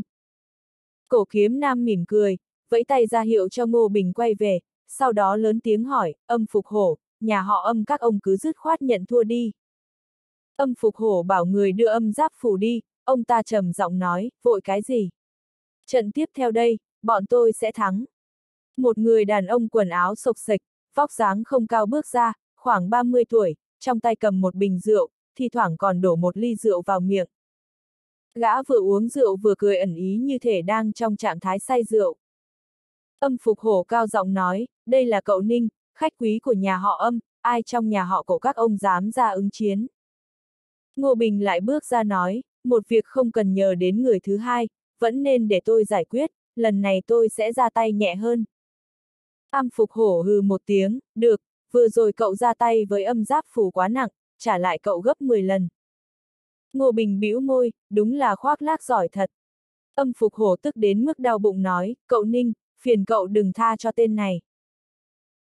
Cậu Ninh chậm rãi bước đến, hắn giơ một ngón tay với Ngô Bình cười nói, này, cậu ra tay đi. Ngô Bình bước đến vung quyền lên đánh. Cậu ninh này nhả ra mũi tên rượu, mũi tên rượu biến thành tên băng, đồng thời bùng lên ngọn lửa màu xanh bắn về phía ngực Ngô Bình. Am, cú đấm của Ngô Bình đánh trúng mũi tên băng. Khi sức mạnh của mũi tên băng va chạm nắm đấm của Ngô Bình, ngọn lửa và băng trên đó lập tức biến mất, biến thành hơi nước rồi bốc hơi. Cùng lúc đó, nắm đấm của Ngô Bình cũng đến, mang sức mạnh của đối phương cộng với sức mạnh nắm đấm của cậu, đánh chúng vào bụng cậu Ninh. Cậu đang sử dụng phương pháp tầng thứ nhất của tiếp dẫn thần công kết hợp với quyền pháp của mình. Cậu Ninh bị đánh văng ra xa, hắn cong người lại trượt dài trên mặt đất một đoạn, khóe miệng chảy máu. Ngô Bình khá ngạc nhiên, mặc dù đòn tấn công của cậu không có gì đặc biệt nhưng mượn lực đánh lực, thế mà hắn chỉ bị thương nhẹ, xem ra thực lực của người này cũng không hề yếu. Cậu Ninh lau vết máu nơi khóe miệng, trầm giọng nói, cũng có bản lĩnh đấy, thế mà biết mượn lực đánh lực. Ha ha, là tôi sơ suất, chuẩn bị sẵn sàng chịu đựng cơn giận của tôi đi. Nói xong, quanh người cậu Ninh bùng lên ngọn lửa hai màu xanh đỏ, hắn há miệng phun ra chín tia kiếm quang, đều dài ba thước, một đầu xanh một đỏ đánh về phía Ngô Bình. Ngô Bình giơ tay ra bắt lấy, dễ dàng nắm được chín tia kiếm quang đó trong tay, đồng thời hóa giải sức mạnh của chúng. Cuối cùng cậu đánh một trưởng về phía đối phương. Một trưởng đáng sợ lao đến, trên bàn tay vẫn còn dấu của chín tia kiếm quang tấn công vào người cậu Ninh với tốc độ nhanh hơn. Giác! Cậu Ninh bị đánh cả người run lên, xương trước ngực vỡ vụn, lục phủ ngũ tạng đều biến thành bụi. Lần này hắn bị thương cực kỳ nặng. Thế nhưng không đợi cậu Ninh kịp hồi phục, Ngô Bình đã đá vào người hắn một cú khiến hắn văng ra xa mười mấy mét, văng về phía người nhà họ âm. Người nhà họ âm vô thức chạy đỡ, kết quả có vài người bị trúng đòn khiến cho gãy tay gãy chân, lăn lộn la hét ẩm. Ngô Bình vỗ tay, nhếch môi cười nói, cậu Ninh yếu quá, các người thua cả hai trận rồi, mau cút đi. Cổ kiếm nam cực kỳ đắc ý, ông ta bật cười, âm phục hổ, các ông thua rồi.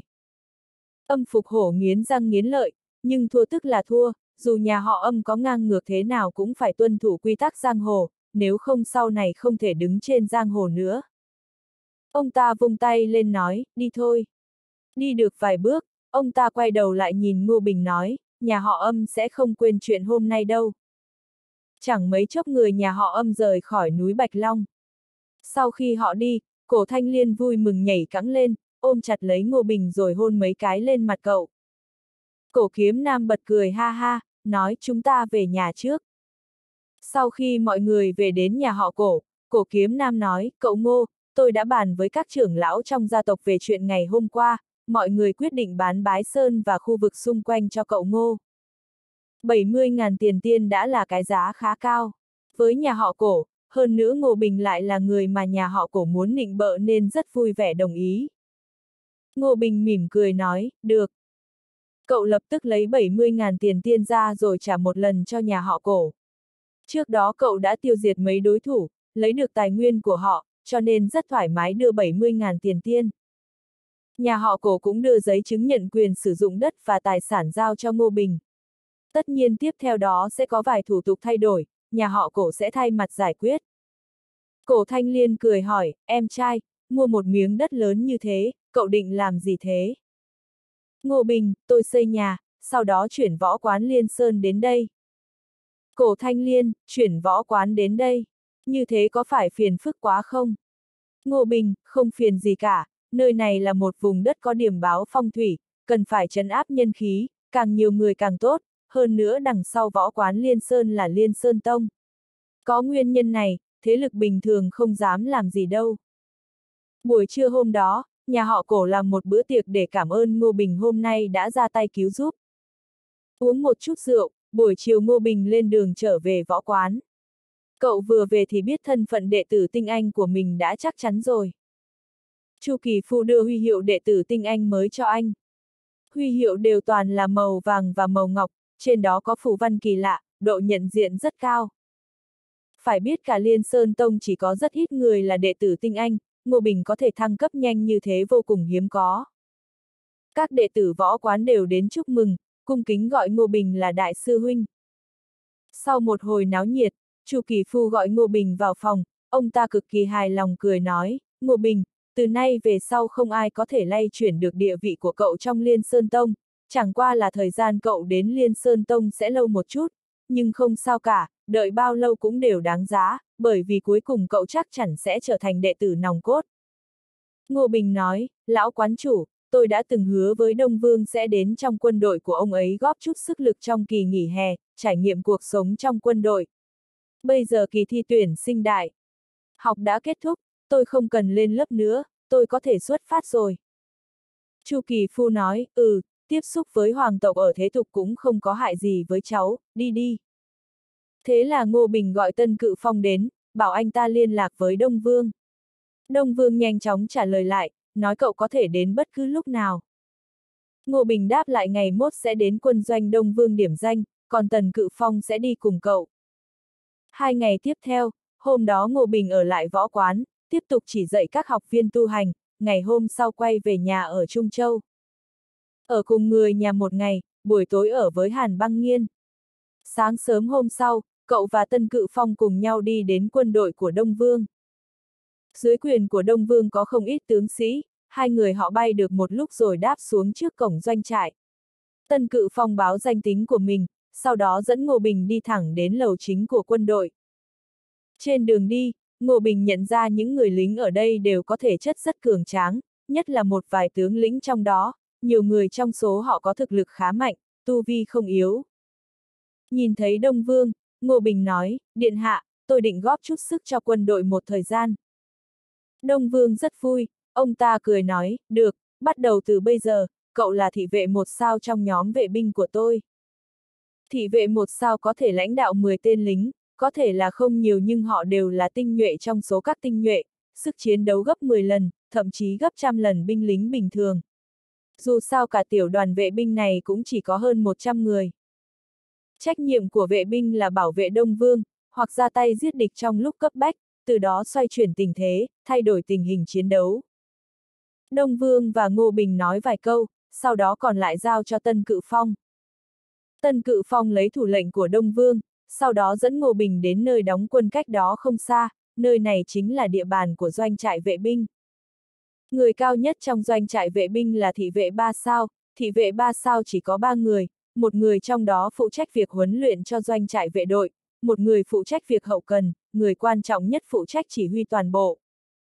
Nhìn thấy Tân Cự Phong đưa một người đến, một thị vệ một sao bước đến hỏi, tướng quân Tân, người này là ai vậy?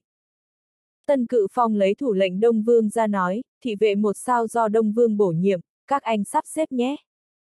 Để Ngô Bình ở lại đó, anh ta quay đầu rời đi như thể chỉ cần bảo anh ta ở lại thêm một giây thì sẽ xảy ra chuyện gì đáng sợ lắm. Thị vệ một sao cao 1m9, hắn nhìn Ngô Bình với ánh mắt chế giễu, hỏi cậu là họ hàng của nhà vương gia à? Ngô Bình thầm nói sao mình lại thành họ hàng rồi, sau đó lắc đầu, không phải. Đối phương nói, không phải họ hàng, vậy thì là con cháu của bạn cũ. Được rồi, đi theo tôi. Hắn dẫn Ngô Bình đến một căn phòng bằng tôn. Dưới ánh năng gay gắt của mặt trời, nhiệt độ căn phòng tôn rất cao, hơn nữa chỉ có hai cánh cửa thông gió rất nhỏ. Theo quy tắc của doanh trại đội vệ binh thì người mới phải ở đây hai tiếng trước, không chịu được thì đập cửa, tôi sẽ dẫn cậu ra ngoài. Ngô Bình cảm thấy chẳng hiểu ra sao, thế này là quy tắc quái gì. Căn phòng bằng tôn này chẳng có gì cả, ngay cả nền đất cũng là nền xi măng. Ngô Bình quá nhàm nên ngồi xuống luyện công. Sau khi có võ cốt tiên thiên, cậu thấy thể chất của mình đã được tăng cường rất nhiều, thế là cậu lấy hai búp bê vàng khác ra, tiếp tục hấp thụ chú ngữ phủ văn trên chúng. Quả nhiên, cậu đã đạt tới cực hạn rồi mà lần này vẫn dễ dàng tiếp thu chú ngữ phủ văn trên thân hai búp bê vàng cuối cùng. Cậu cảm thấy những phủ văn, chú ngữ này như hợp thành một, giúp cho thể chất của cậu được nâng lên một bậc. Trong căn phòng tôn nóng bức, nhiệt độ nhanh chóng vượt qua 85, nước sôi ở nhiệt độ này đã có thể pha trà và luộc trứng. Thế nhưng Ngô Bình không hề cảm thấy nóng, thậm chí còn cảm thấy ấm áp, rất dễ chịu. Một tiếng đồng hồ nhanh chóng trôi qua, bình thường, một người ở trong căn phòng này hơn 10 phút thôi là đã không chịu nổi, sẽ đập cửa cầu cứu ngay, thị vệ một sao bên ngoài hơi sốt ruột, thấy đã qua một tiếng rồi mà bên trong vẫn không có động tĩnh gì. Hắn cảm thấy lo lắng, vội kéo cửa ra thì nhìn thấy Ngô Bình đang ngồi trên đất, vẻ mặt rất bình tĩnh, chẳng hề hấn gì. Thị vệ thở phào hỏi, cậu không nóng à? Ngô Bình, vẫn ổn. Thị vệ một sao biết người trước mặt không tầm. Thường, hắn gật đầu nói, cậu không cần ở trong này nữa, theo tôi đi gặp cấp trên. Trong một căn phòng mái ngói có một thị vệ ba sao đang ngồi, người này chính là thị vệ trưởng quản lý toàn doanh trại, hắn ta híp mắt nhìn Ngô Bình hỏi, cậu tên gì? Ngô Bình nói, thưa cấp trên, tôi là Ngô Bình. Thị vệ trưởng ư một tiếng rồi nói, vương gia ban cho cậu thân phận thị vệ một sao, thị vệ một sao có thể lãnh đạo 10 người, nói rồi hẳn ta phất tay. Lúc này, có 10 thị vệ bước ra từ đằng sau hẳn ta, họ đều không phải là thị vệ có sao, tất cả họ mặc đồng phục thị vệ màu xanh. Thị vệ trưởng nói, trong tương lai, cậu quản lý 10 người này. Nếu cậu có thể quản lý được họ thì ngày mai chính thức nhận nhiệm vụ. Nếu cậu không quản được thì hết cách. Ngô Bình đã hiểu, đây chắc là thử thách dành cho mình, cậu gật đầu nói, họ sẽ ngoan ngoa ấn nghe lời tôi. Sau đó Ngô Bình dẫn 10 người này đến một căn nhà riêng lẻ. Căn nhà có hai tầng, tầng trệt có bốn phòng, phía trước có một cái sân nhỏ. Đi vào sân nhỏ, Ngô Bình nói, bắt đầu từ bây giờ, tôi là cấp trên của mọi người, mọi người phải nghe theo lệnh tôi. Thật ra 10 người này đều là những kẻ cứng đầu cứng cổ được tuyển chọn kỹ lưỡng, ngay cả cấp trên trước đây của họ cũng phải đau đầu. Bây giờ bị gom lại giao cho Ngô Bình quản lý, mục đích là để làm khó cậu. Lúc này 10 người kia lập tức để lộ bản chất thật, mỗi người đứng một tiếng, nhếch môi cười, có. Vài người còn nhìn Ngô Bình đầy ẩn ý. Ngô Bình cũng cười híp mắt, mọi người ngồi xuống đi. Thế nhưng 10 người này đều không động đậy. Có một tên đầu chọc bước ra, hắn gãi đầu nói. Tôi không thích ngồi, có thể đứng không?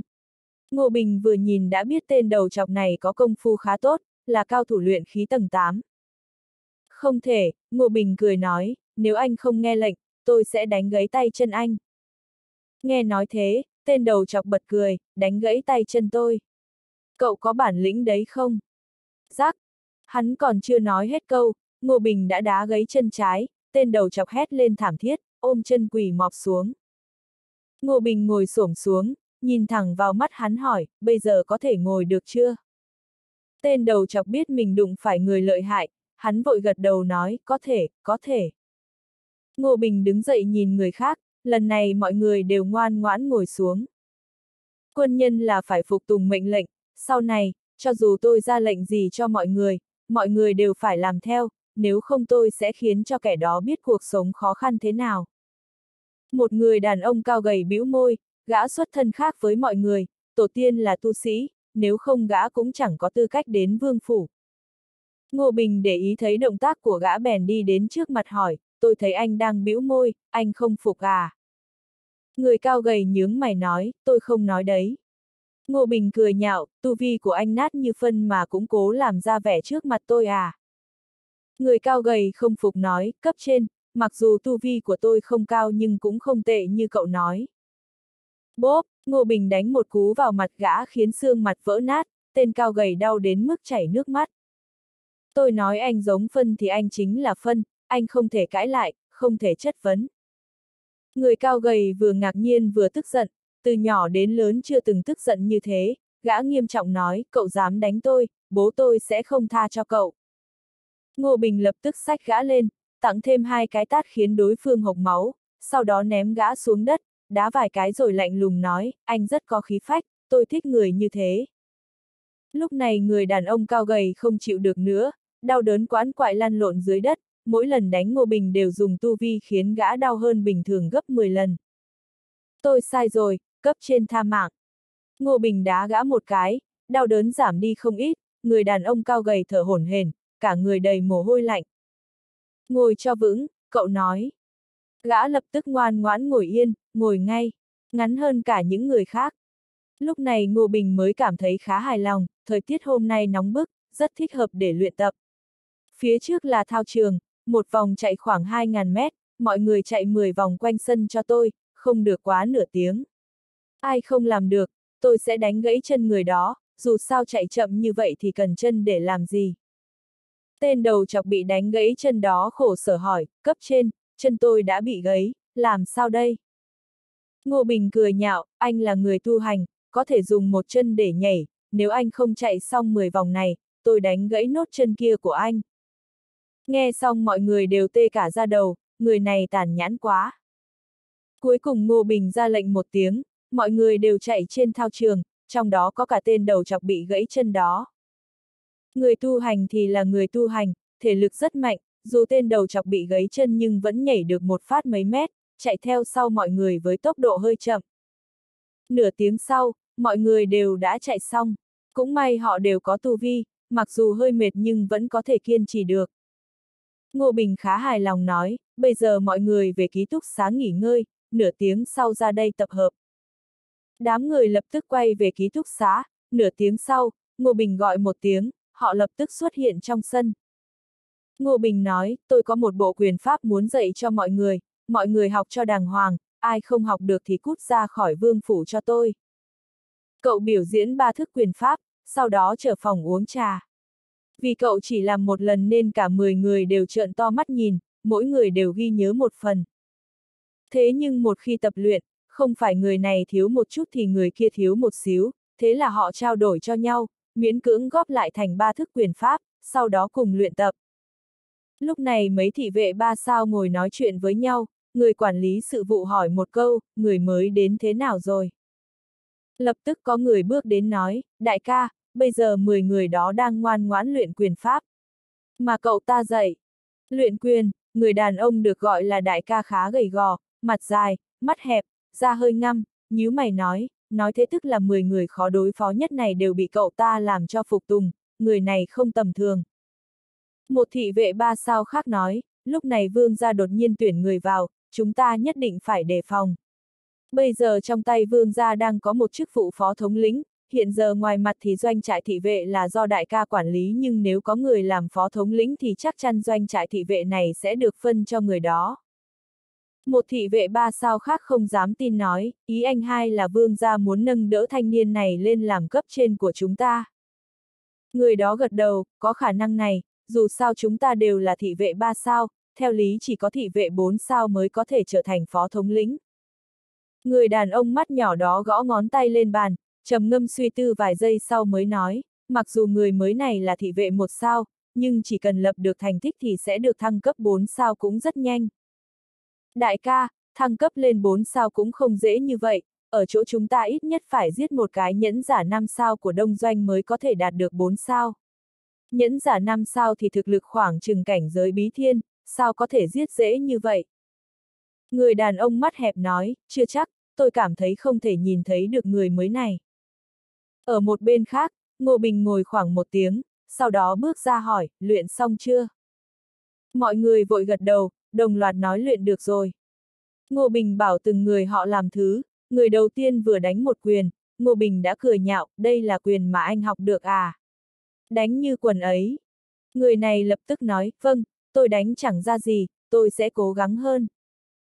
Ngô Bình rất hài lòng, lại bảo những người khác đánh lại một lần, bị mắng vài câu, cuối cùng mới y ở tôi dạy lại lần nữa. Lần thứ hai, cậu dạy rất chậm, mỗi chỉ tiết đầu nhắc nhở vài câu. Cứ thế làm mọi người hiểu ra được vấn đề, ai nấy cũng mừng hớn hở. Ngô Bình bảo họ tiếp tục luyện tập, cậu về quay vào phòng uống trà, nghịch điện thoại. Một tiếng sau, cậu lại bước ra rồi bảo mọi người làm một lần. Lần này quyền pháp của mọi người đều đã chuẩn hơn, nhưng vẫn còn kém xa yêu cầu của cậu. Ngô Bình đá cho mỗi người vài cái, hung hăng mắng một trận, lúc này mới thị phạm, giải thích lần thứ ba. Lần này cậu giải thích cặn kế hơn, nói hết những điểm mấu chốt trong đó khiến 10 người như tỉnh khỏi cơn mơ. Tiếp tục tập đi, nếu hôm nay không luyện xong thì đừng ngủ, Ngô Bình mắng xong thì quay lại phòng. Vài phút sau, Tân Cự Phong đến gặp, anh ta liếc nhìn vài người trong sân, mỉm cười bước vào nói. Đại sư huynh giỏi thật đấy, những người này đều là kẻ cứng đầu, khó mà quản được họ, cậu nhìn bây giờ đi, ai cũng đều rất nghe lời. Ngô Bình mới làm quán chủ được mấy ngày, nhưng vì cậu chẳng màng công chuyện nên mấy hôm trước đã xin lão quán chủ bổ nhiệm lại người mới, Tân Cự Phong cũng cách xưng hô, gọi cậu là đại sư huynh. Ngô Bình, anh đến có việc gì à? Tân Cự Phong nói, vương gia mời cậu sang đó một chuyến. Ngô Bình, ừ, đi thôi, cậu cũng có linh tính chắc Đông Vương sẽ muốn gặp lại mình. Lần này gặp lại, Đông Vương nhiệt tình hơn lần trước nhiều, ông ta cười nói, Ngô Bình, cậu làm rất tốt, nhanh như vậy mà đã có thể làm cho thuộc hạ phục rồi. Ngô Bình cười nói, Vương ra, ông tìm tôi có việc gì? Đông Vương, trước đó chúng ta đã thỏa thuận, cậu đến quân đội để trải nghiệm, tôi không thể để cậu trải nghiệm không công được. Tối nay có đợt hành động, tôi sẽ dẫn người đi phục kích một nhãn giả bảy sao của nước Đông Doanh.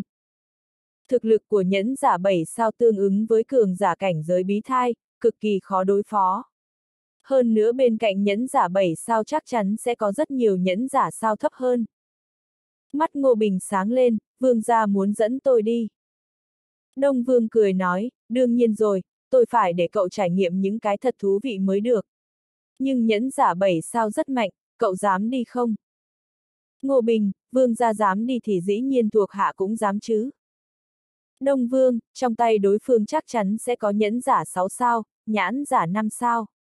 Cậu chỉ cần giết bừa một người, giành được chiến tích thì cậu có thể trở thành thị vệ bốn sao. Ngô Bình, Vương gia, tại sao ông lại để tôi làm thị vệ? Làm binh tướng bình thường không tốt hơn sao? Đông Vương cười nói, thị vệ thăng cấp nhanh hơn, không chỉ có nhiều lợi ích và ưu thế, mà còn có tất cả quyền lợi hơn hẳn binh sĩ bình thường. Ngô Bình cười nói, cảm ơn Vương gia. Đông Vương xua tay, cậu đồng ý đến giúp tôi thì phải là tôi cảm ơn cậu mới đúng. Ngô Bình lại nói đến hành động tối nay, nhẫn giả bảy sao đó đến Hạ Quốc làm gì. Đông Vương, theo tin tình báo, lần này hắn đến là để lấy một món bảo vật của Hạ Quốc. Hiện giờ món bảo vật đó đang ở trong tay một nhân sĩ võ lâm, thế nên chúng ta chỉ cần mai phục gần nhân sĩ võ lâm đó thì chắc chắn có thể chặn được đám nhãn giả đó. Ngô Bình phấn khích hỏi, vương gia biết là món bảo vật gì không? Đông vương, trước mắt vẫn chưa rõ, nhưng có thể khiến đối phương phái nhẫn giả bảy sao đến chắc không phải là món bảo vật đơn giản. Ngô Bình hỏi, vương gia, bên chúng ta cử những người nào đi? Đông vương, một cao thủ cảnh giới bí anh, ba cao thủ cảnh giới bí thai, 10 cao thủ cảnh giới bí phủ. Ngoài ra bên cạnh tôi còn có vài thị vệ bí cảnh, trong tay họ đều có pháp khí và bùa chú. Ngô Bình, trận thế như vậy hạ gục đối phương chắc hẳn không khớ. Đông Vương nói, ừ, chắc là có thể, đến lúc đó cậu ở bên cạnh tôi, đến thời cơ thích hợp, cậu ra tay lấy đầu chúng. Ngô Bình, vâng, chuyện quan trọng nhất của tôi là bảo vệ sự an toàn của vương gia. Đông Vương, vốn dĩ muốn tổ chức bữa tiệc tẩy gió cho cậu nhưng tối nay chúng tôi có hành động, chỉ đành để sang hôm khác. Ngô Bình vẫn chưa biết rõ tình hình bên Đông Vương, cậu cũng không nói gì nhiều, sau đó quay về phòng mình. Lúc này những người đó đã luyện gần xong, Ngô Bình kiểm tra lại, lại mắng họ một trận, bảo họ tiếp tục tập. Sau khi trời tối, đám người này đã luyện đến mức gần như kiệt sức, lúc này Ngô Bình mới để họ tạm nghỉ ngơi. Một tiếng sau, Ngô Bình và bốn người mấy người Đông Vương đi đến nơi phục kích đối phương. Nơi này là một căn phòng giữa núi, đã có người bày bố sẵn trước đó. Sau khi nhóm Đông Vương, lập tức sắp xếp người, lần lượt mai phục ở các vị trí khác nhau.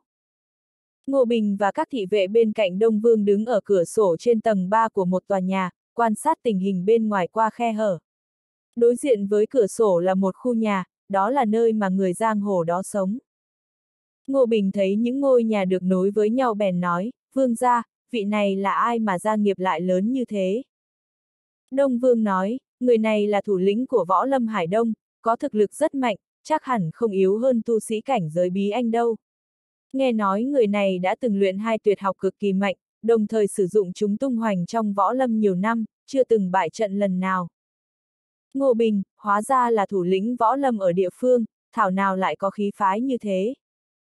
Tân Cự Phong nói, người này tên là Phương Bình Hải, ngàn sơn quyền và bôn lôi trưởng của ông ta rất có uy lực, thường thăng đối phương chỉ với một đòn tấn công. Hơn nữa người này thu nhận 36 đệ tử, người nào cũng có bản lĩnh. Thế lực của người này trải rộng khắp tỉnh Hải Đông, là một trong ba đầu sỏ ở Hải Đông. Lúc này Ngô Bình mới nhận ra nhà họ Phương treo đèn kết hoa, liên tục có khách đến thăm, trước cổng dần trở nên náo nhiệt, ngựa xe như nước. Tân Cự Phong, hôm nay là lễ mừng thọ 50 tuổi của Phương Bình Hải, đệ tử và con cháu của ông ta đều đến chúc thọ, có không ít gia tộc lớn, các võ sư ở tỉnh Hải Đông cũng cử người đến chúc mừng. Ngô Bình nhìn một lúc, bỗng nói, vương gia, chúng ta ở ngoài nhìn cũng không rõ ràng, hay là chúng ta trà trộn vào trong. Đông Vương cười nói, cậu định vào đó thế nào? Ngô Bình cười nói, ông ta là người đứng đầu võ lâm, một thành niên thế hệ trẻ như tôi ngưỡng mộ ông ta, đến đây mừng thọ cũng là chuyện bình thường nhỉ. Đông Vương gật đầu, lấy ra một viên hạt châu nói, đây là viên ngọc trai một ngàn năm tuổi, cũng được xem là bảo vật, cậu lấy nó để làm quà mừng thọ đi. Nhìn thấy viên ngọc trai, Ngô Bình ngạc nhiên nói, thứ này quá tốt, trong viên ngọc trai này có chứa tinh hoa nhật nguyệt, có thể luyện đan. Đông Vương, tôi vẫn còn, nếu cậu thích, lúc về tôi sẽ tặng cậu hai viên. Ngô Bình cười nói, cảm ơn Đông Vương. Cất ngọc trai đi, Ngô Bình lặng lẽ xuống lầu. Một lúc sau, trong tay cậu cầm một cái hộp hình vuông nhỏ, nghênh ngang đi đến trước cổng nhà họ Phương. Lúc này có không ít khách đến, Ngô Bình xen lẫn trong một nhóm khá nhiều người rồi trà trộn tiến vào.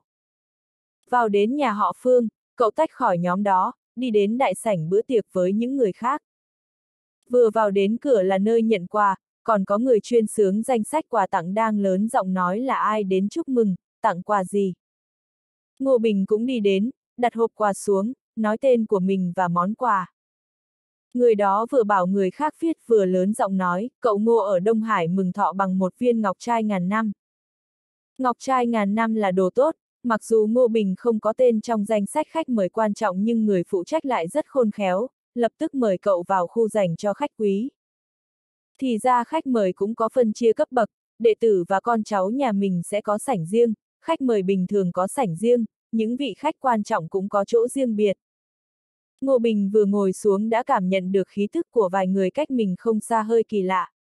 Mấy người xung quanh đều là thương nhân hoặc là người trong võ lâm, khí thức của họ đều rất bình thường, nhưng chỉ có vài người này hơi kỳ lạ, hơi thở có chút tà khí. Ngô Bình âm thầm quan sát những người này một lúc thì thấy một người đàn ông khoảng 30 tuổi đang sải bước đi đến, theo sau hắn là mấy người cấp dưới. Hắn đi đến trước mặt Ngô Bình, chắp tay nói, cậu Ngô, tôi là Phương Vân Châu, cậu tặng ngọc trai ngàn năm, bố tôi cực kỳ vui, bảo tôi đến đón tiếp. Ngô Bình đứng dậy cười nói, mặc dù tôi đến từ môn phái võ lâm ở Giang Nam nhưng trước giờ ngưỡng mộ tiền bối phương. Nghe nói tiền bối phương tổ chức sinh nhật, tôi lập tức đến đây chúc mừng. Phương Vân Châu, bố tôi đang ở trong sảnh, mời cậu Ngô đi theo tôi. Sau đó là chính thức chúc thọ, cũng là chúc thọ nhưng đa số khách mời không gặp được Phương Bình Hải, họ tặng quà xong thì đến nơi nào đó để ngồi. Vì Ngô Bình tặng ông ta một món quà quý giá nên Phương Bình Hải chú ý đến cậu, lúc này mới có cơ hội gặp mặt chúc thọ.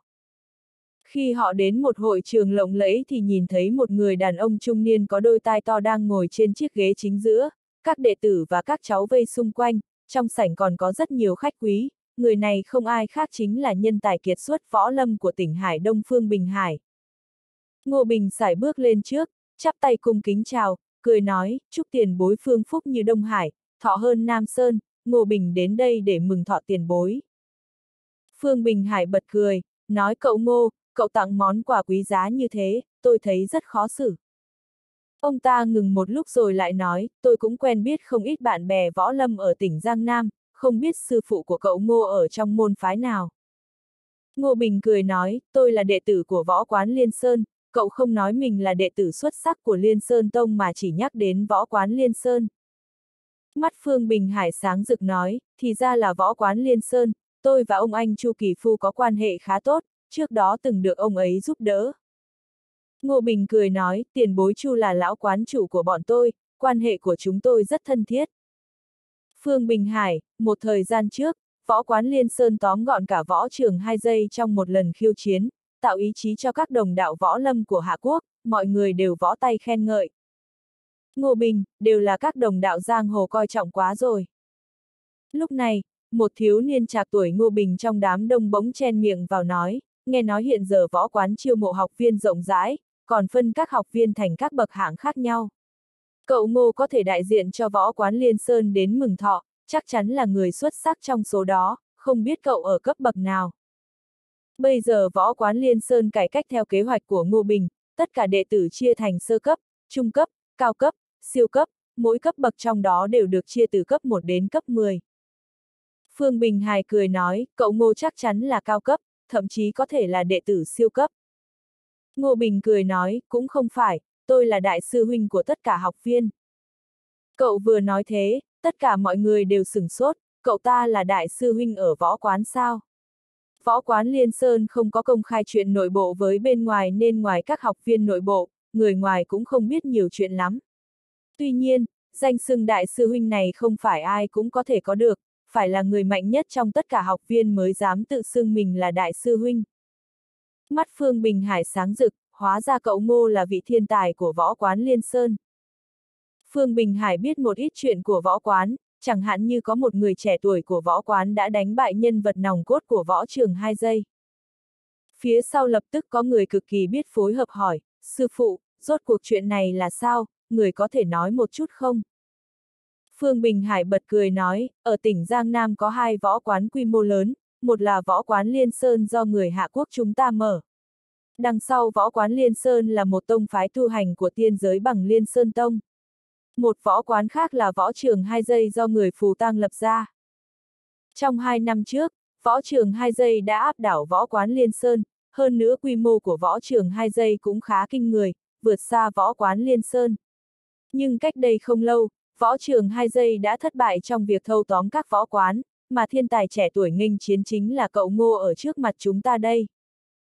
Vừa nghe nói Ngô Bình là người đã đánh bại người võ trường hai giây, mọi người nhìn cậu với ánh mắt bái phục, thiếu niên đó nhanh chóng đứng dậy, cúi đầu với cậu nói, anh Ngô, tôi đã ngưỡng mộ anh từ lâu, hôm nay có thể gặp được anh Ngô, tôi xem như có phúc ba đời. Thiên tài gì chứ, cũng chẳng có gì đặc biệt. Đột nhiên có một người đàn ông khoảng 20 tuổi ở trong đám người chế giễu. Mọi người đều quay sang nhìn hắn, nhận ra người này để dâu, vóc dáng không cao, da mặt đen sạm, đôi mắt cũng là màu xám, trông rất kỳ lạ. Lúc Ngô Bình bước vào thì đã để ý đến người. Này, cậu thấy khí thức của người này rất giống với. Những người bên ngoài kia, lúc này nghe thấy hẳn. Chế giễu mình, cậu thờ ơ nói, phù tăng các anh. Không chỉ là một đất nước nhỏ bé, mà vóc dáng. Cũng lùn và lòng dạ cũng hẹp hòi. Vừa nghe thế, người này đứng phát dậy, lạnh lùng nói, cậu hỗn láo. Phương Bình Hải khẽ cao mày, người này là Cao, thủ cương nhu đạo của nước Phú Tăng, tên là Sogoro. Trước đây hắn từng tiếp xúc với Phương Bình Hải, cả hai đều là khách quý, ông ta vội nói, hai người bình tĩnh lại. Ngô Bình chắp tay nói, tiền bối Phương, tôi không quen với người này, anh ta xiên sỏ châm chọc làm tôi không thể nhịn được. Sau đó cậu chỉ vào đối phương nói, nếu anh có gan thì ra đây so tài với tôi. Tôi thua thì mặc anh nói gì cũng được, nếu anh thua thì phải cúi đầu xin lỗi tôi. Sogoro là cao thủ đứng thứ thứ hai của cương nhu đạo, cả đời đã đánh bại vô số cường giả, thấy người trẻ tuổi Ngô Bình này muốn khiêu chiến với mình, hắn chế nhạo cậu muốn chết thì tôi sẽ thỏa mãn cậu. Thấy hai người sắp lao vào đánh nhau, Phương Bình Hải khẽ thở dài nói, mọi người đều là người trong võ lâm, hai cậu muốn đánh nhau tôi không cản, mong hai vị đúng mực, đừng so đấu tới mức mất mạng. Người xung quanh lập tức lùi ra sau, trừ lại một khoảng trống ở giữa.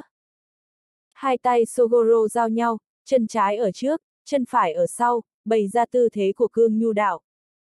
Hai tay Ngô Bình để ra sau lưng, cười nhạo, gì đây, đúng là chẳng ra sao cả. Sogoro không nổi giận, mũi chân bám chặt vào mặt đất, bỗng di chuyển vài mét rồi tung ra một quyền. Ngô Bình cũng di chuyển, nhẹ nhàng đánh ra một quyền, nắm đấm của cậu đánh vào phần bụng của Sogoro. Phụt! Xương sống của Sogoro nhô ra khỏi da, ruột cũng bị đứt từng đoạn, hắn ngồi phịch tê liệt dưới đất, sắc mặt tái nhợt. Hắn có công phu giết người nhưng không hề có cơ hội thi triển nó trước mặt Ngô Bình. Ngô Bình chỉ dùng một chiêu đã đánh bại Sogoro, lạnh lùng nói, chỉ chút công phu mèo cào này của anh mà cũng dám nhạo báng người khác. Sogoro vừa giận vừa hận nói, cái thứ chết tiệt, sư phụ tôi sẽ không tha cho cậu. Ngô Bình, tôi có thể phụng bồi bất cứ lúc nào. Anh thua rồi nên phải cúi đầu xin lỗi tôi theo thỏa thuận. Lúc này có người nói, cậu Ngô, hẳn đã bị tê liệt rồi, e là không thể cúi đầu đâu.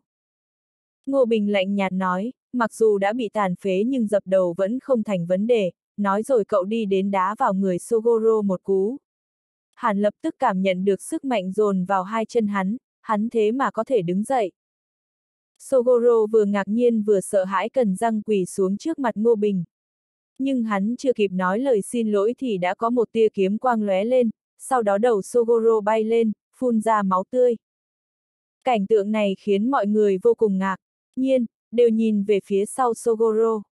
Lúc này, một thiếu niên buộc tóc, thắt lưng đeo kiếm võ sĩ đứng đó, khoảng cách giữa gã và Sogoro là 7, 8 mét. Từ đầu đến cuối, ngoài Ngô Bình thì không ai thấy được gã ra tay thế nào. Thiếu niên cũng chạc tuổi Ngô Bình, gã nhìn thi thể Sogoro ngã dưới đất, thở ơ nói, thứ vô dụng này sống chỉ lãng phí không khí. Người nhà họ Phương biến sắc, Phương Bình Hải trầm giọng nói, cậu là ai mà dám giết người ở nhà họ Phương, trong mắt cậu còn có tôi không hả? Thiếu niên nhếch môi cười nói, tôi muốn giết thì giết, không ai ngăn được tôi cả. Sau đó gã ôm kiếm võ sĩ vào lòng, cười ha ha hỏi Phương Bình Hải, ông già, tôi nghe nói ông đang giữ một món bảo vật, lấy ra cho tôi xem thử đi. Ngô Bình thầm nghĩ, lẽ nào thiếu niên này là người do nhãn giả phái đến. Thế là cậu âm thầm mở camera, gửi hình ảnh ở đây cho Đông Vương ở tòa nhà đố. Đông Vương nhìn thấy thiếu niên này, giọng cũng thay đổi, nói, đây là Hoshi Kiryu, thiếu niên cao thủ đứng đầu của Phù Tang. Ngô Bình, cậu phải cẩn thận với người này. Sau đó là giọng Đông Vương tức giận quát người bên cạnh, một đám vô dụng. Hoshi Kiryu đến hiện trường kia, các người lại không biết. Ngô Bình gõ vào máy quay tỏ ý ông ta đừng lo. Hoshi Kiryu vừa nhắc đến bảo vật, Phương Bình Hải lập tức biến sắc, lạnh lùng hỏi, chàng trai, là ai phái cậu đến?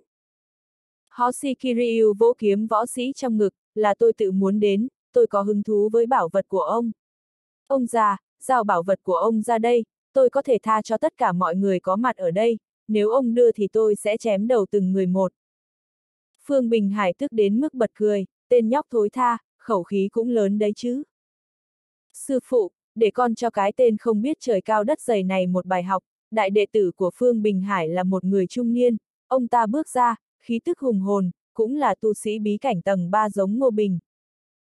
Phương Bình Hải khẽ gật đầu nói, nộ ba, chú ý kiếm của cậu ta, người này biết thuật rút kiếm, ánh mắt ông ta rất chuẩn, vừa nhìn đã biết bản lĩnh sở trường của Hoshi Kiryu.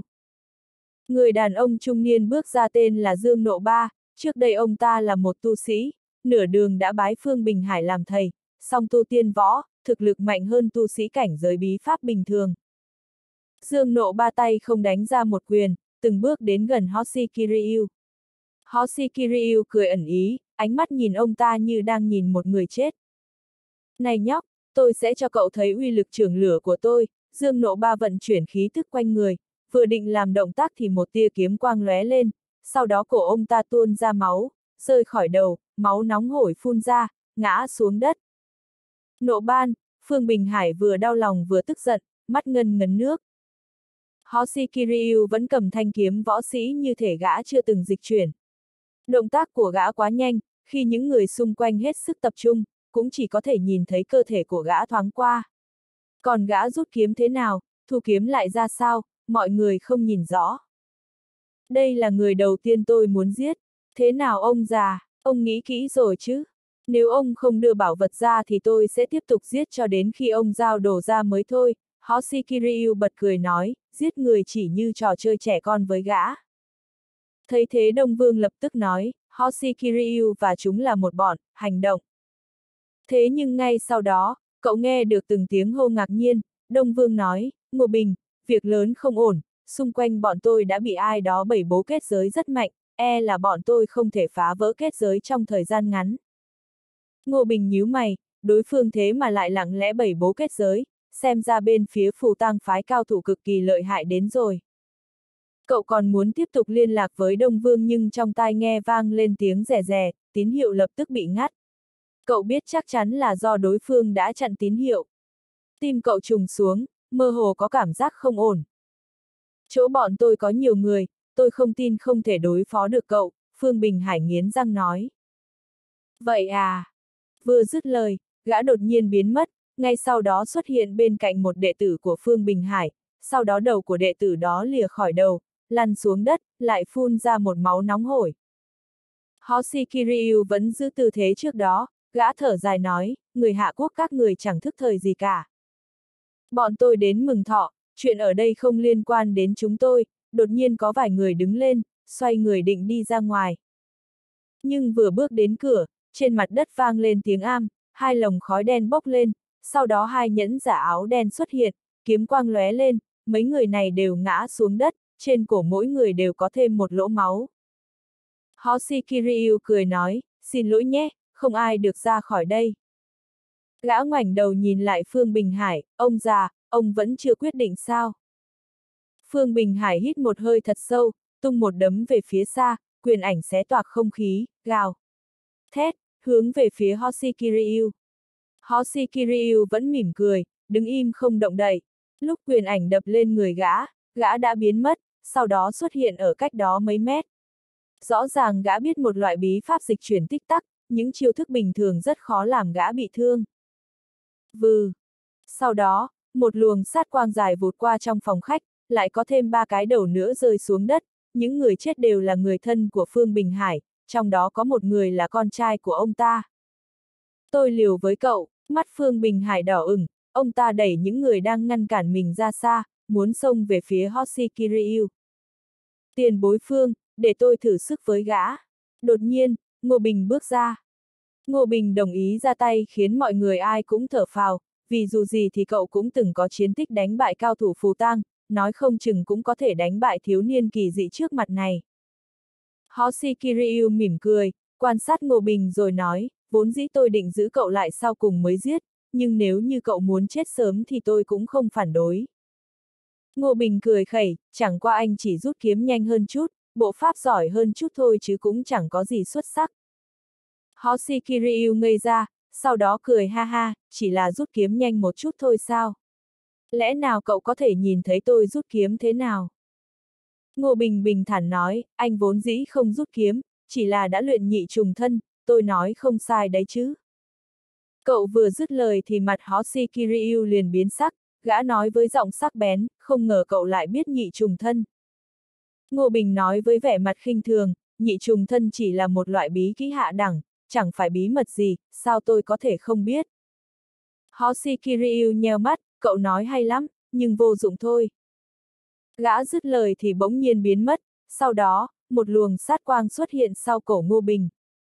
Nhưng luồng sát quang đó đã chật mục tiêu, Ngô Bình cũng không thấy đâu nữa. Sau đó, một bàn tay thò ra từ hư không, hướng về trước và tóm lấy cổ một người, và rồi hai người họ cùng xuất hiện ở cách đó mấy mét. Hoshi Kiryu bị Ngô Bình bóp chặt cổ, mặt tối sầm, ánh mắt đầy sự kinh ngạc và khiếp sợ. Mặt Ngô Bình không cảm xúc, cậu khẽ dùng lực, cây kiếm nhật trong lòng Hoshi Kiryu liền rơi xuống đất, gã hoàn toàn không có khả năng phản kháng. Cao thủ trẻ số một phù tang chẳng qua cũng y, Ngô Bình lạnh lùng nói. Thả tôi ra, Hoshi Kiryu nghiến răng nói, dù đã bị tóm nhưng gã vẫn rất ngông cuồng. Rắc rắc, Ngô Bình bẻ gãy cổ gã, sau đó vứt gã xuống đất. Hoshi Kiryu không thể động đậy, mắt đẫm lệ, nhìn Ngô Bình bằng ánh mắt vô cùng oán hận. Dám đánh tàn phế thiên kiêu trẻ của phù tăng tôi, tội cậu thật đáng chết vạn lần. Lúc này, có một nhẫn giả áo bạc xuất hiện ở cửa, người này vừa xuất hiện thì Ngô Bình biết ngay chắc chắn ông ta là mục. Tiêu mà Đông Vương muốn đối phó, nhẫn giả bảy sao. Ngô Bình nhìn về phía đối phương, hỏi kết giới phía trước là do ông bảy ra sao. Nhẫn giả bảy sao chỉ để lộ đôi mắt, ông ta cười nham hiểm, nói, tôi dùng pháp khí tách biệt khu vực đó với thế giới bên ngoài, trước khi trời sáng, những người bên trong không thể ra ngoài được. Nhóc con, chỉ với sức một mình cậu mà muốn thay đổi cục diện sao? Phương Bình Hải hét lớn, còn có chúng tôi. Những người đó cũng ý thức được đám người phù tang này không chịu yên, e rằng tiếp theo đây bọn chúng cũng sẽ đối phó họ, thế nên ai cũng đứng về phía Ngô Bình. Nhẫn giả bảy sao cười ha ha, các người sao? Chỉ một mình Hoshi Kiryu đã có thể khiến các người bất lực rồi, gặp phải tôi các người có thể làm được gì? Ngô Bình, đừng cười nữa, sắp rớt răng ra rồi kìa. Nhẫn giả bảy sao lập tức ngừng cười, nhìn Ngô Bình với đôi mắt nham hiểm, nhả từng câu, từng chữ, nhóc con, cậu tưởng với chút thực lực đó thì cậu có thể ngông cuồng trước mặt tôi sao? Ngô Bình bình thản đáp, vậy thì thử xem. Cậu vừa dứt lời thì đột nhiên biến mất, sau đó phương phủ bóng tối đen như mực, không một tia sáng. Chuyện gì thế, ai cũng kinh ngạc thốt lên. Lúc này, một vầng trăng xuất hiện trên không trung, ánh trăng chiếu xuống, dưới chân mỗi người đều có bóng. Nhẫn giả bảy sao nheo mắt, hỏi, đấy là thủ pháp gì? Ngô Bình bình thản đáp, bí pháp cấp thần, bắt bóng. Cậu đưa tay phải lên, mặt đất liền xuất hiện một bàn tay khổng lồ, bàn tay đó nhanh như chớp, nhẹ nhàng bắt lấy bóng của nhẫn giả. Đối phương liền cứng đơ người, ngã nhào xuống đất như mất hồn.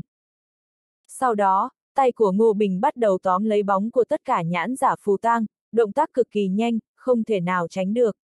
Thế là hết nhẫn giả này đến nhãn giả khác lần lượt ngã xuống trong câm lặng, những người khác thì sợ quá bỏ trốn tán loạn, nhưng cuối cùng cũng không trốn được. Nhãn giả bảy sao giận dữ hét lớn, địa tạng thất sát. Bỗng dưng, đằng sau ông ta liền xuất hiện bảy luồng sát quang màu đen, muốn tấn công Ngô Bình. Nhưng điều kỳ lạ là, những sát quang đó gặp phải ánh trăng thì đều lập tức biến thành màu xám, phóng ra được mấy mét thì tiêu tan, không còn uy lực gì nữa. Nhãn giả bảy sao tái mặt, lẩm bẩm, không thể nào, thủ pháp này chỉ có tu sĩ thần thông mới có. Cậu!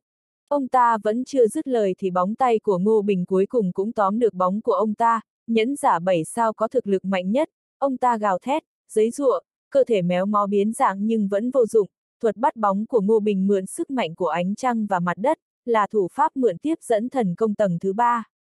Dù thực lực của ông A có mạnh đến đâu thì cũng không thể nào đối kháng lại với mặt trăng và mặt đất. Ngô Bình búng ngón tay, mặt trăng biến mất, mọi thứ xung quanh trở về lại bình thường, ánh đèn lại bừng sáng. Bên trong và bên ngoài phòng khách có mấy chục nhãn giả bất tỉnh trên mặt đất, không biết gì cả. Ngô Bình bước đến trước mặt nhẫn giả bảy sau đó, lục ra một chiếc nhãn ngọc màu đen, rồi lấy ra một mặt nạ màu bạc từ bên trong. Cậu nghiên cứu một lúc rồi gõ nhẹ lên mặt nạ, bỗng dưng có tiếng động từ xa truyền đến, đó là tiếng kết giới bị nứt vỡ, người phù tang đã lợi dụng thứ này để tạo ra tầng kết giới bên ngoài. Lúc này mọi người ở đó mới hiểu ra, ùn ùn tiến đến cảm tạ. Phương Bình Hải nắm chặt tay Ngô Bình, nước mắt giàn giụa, nói cậu Ngô đúng là thần kỳ, nếu hôm nay không nhờ cậu ra tay thì nhất định nhà họ Phương của tôi sẽ bị giết hết. Nhà họ Phương tôi sẽ không bao giờ quên đại ơn đại đức của cậu.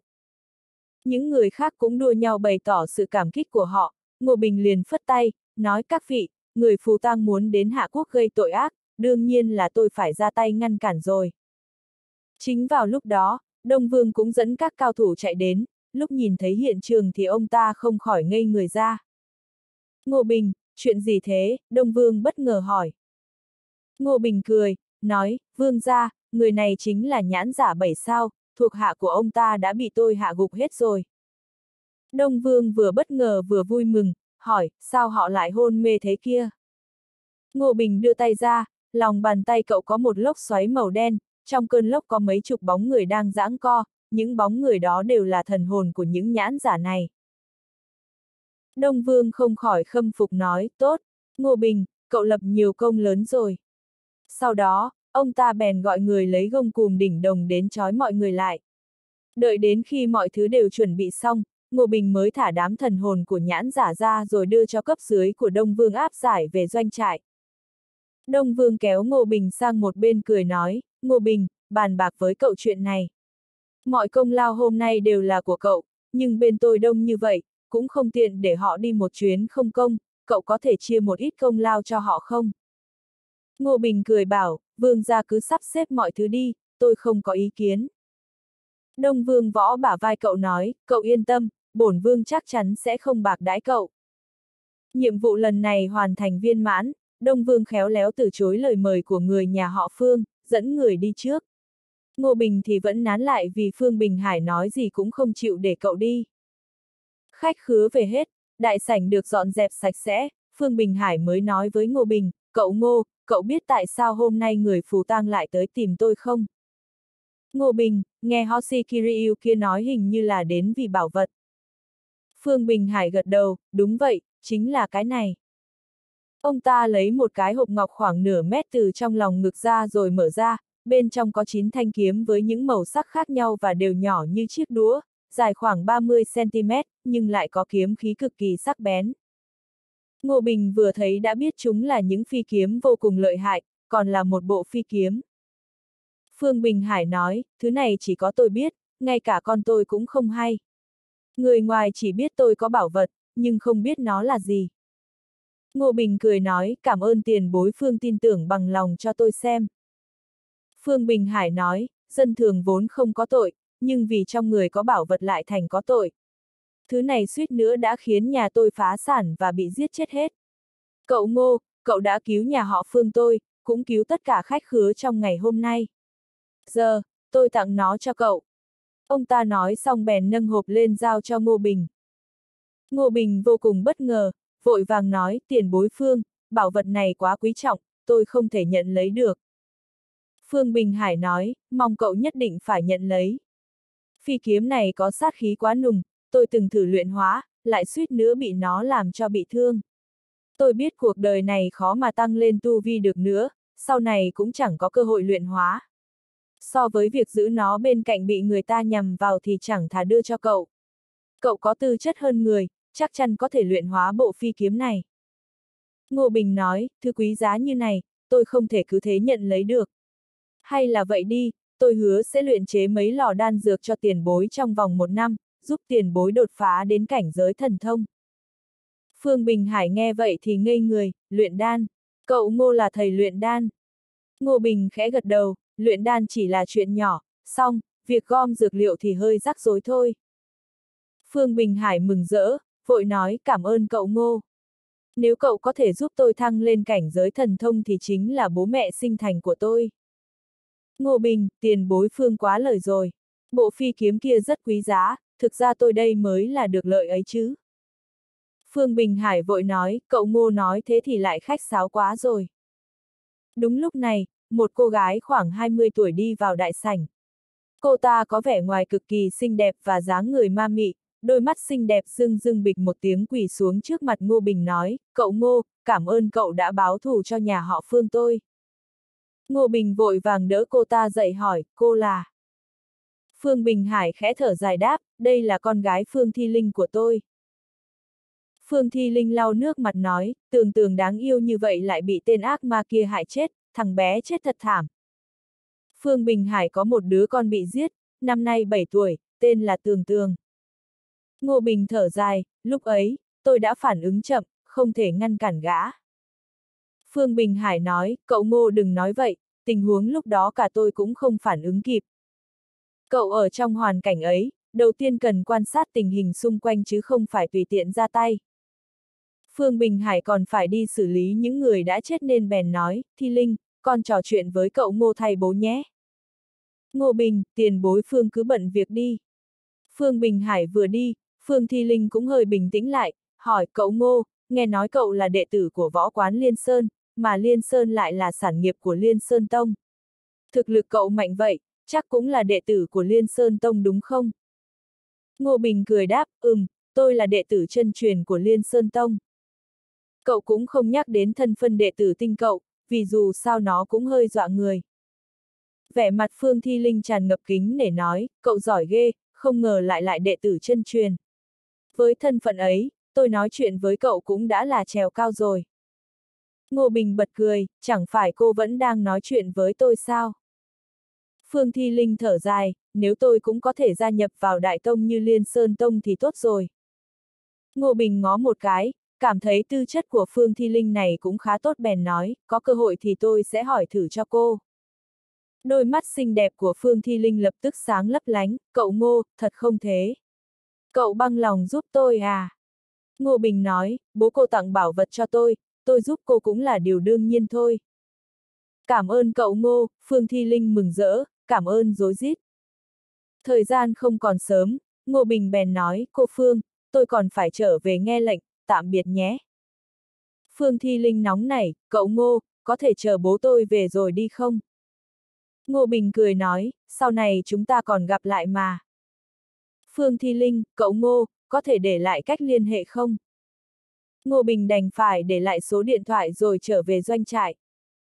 Lúc này, Đông Vương ngồi bên ngoài phòng thẩm vấn, vừa nghe Ngô Bình đã về lập tức gọi người mời cậu đến.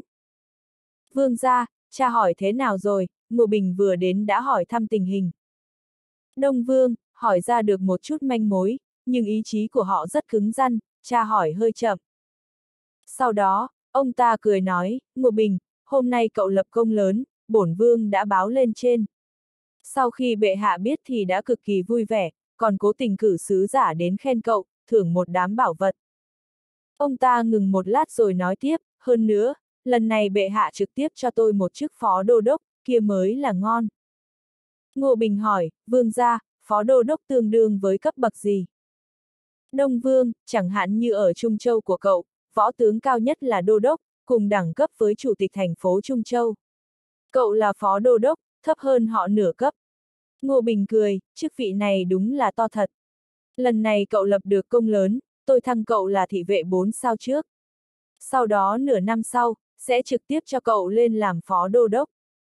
Ngô Bình, vương gia, cấp bậc cao nhất của thị vệ là mấy sao? Đông Vương bảo Tần Cự Phong, cậu giải thích cho Ngô Bình đi.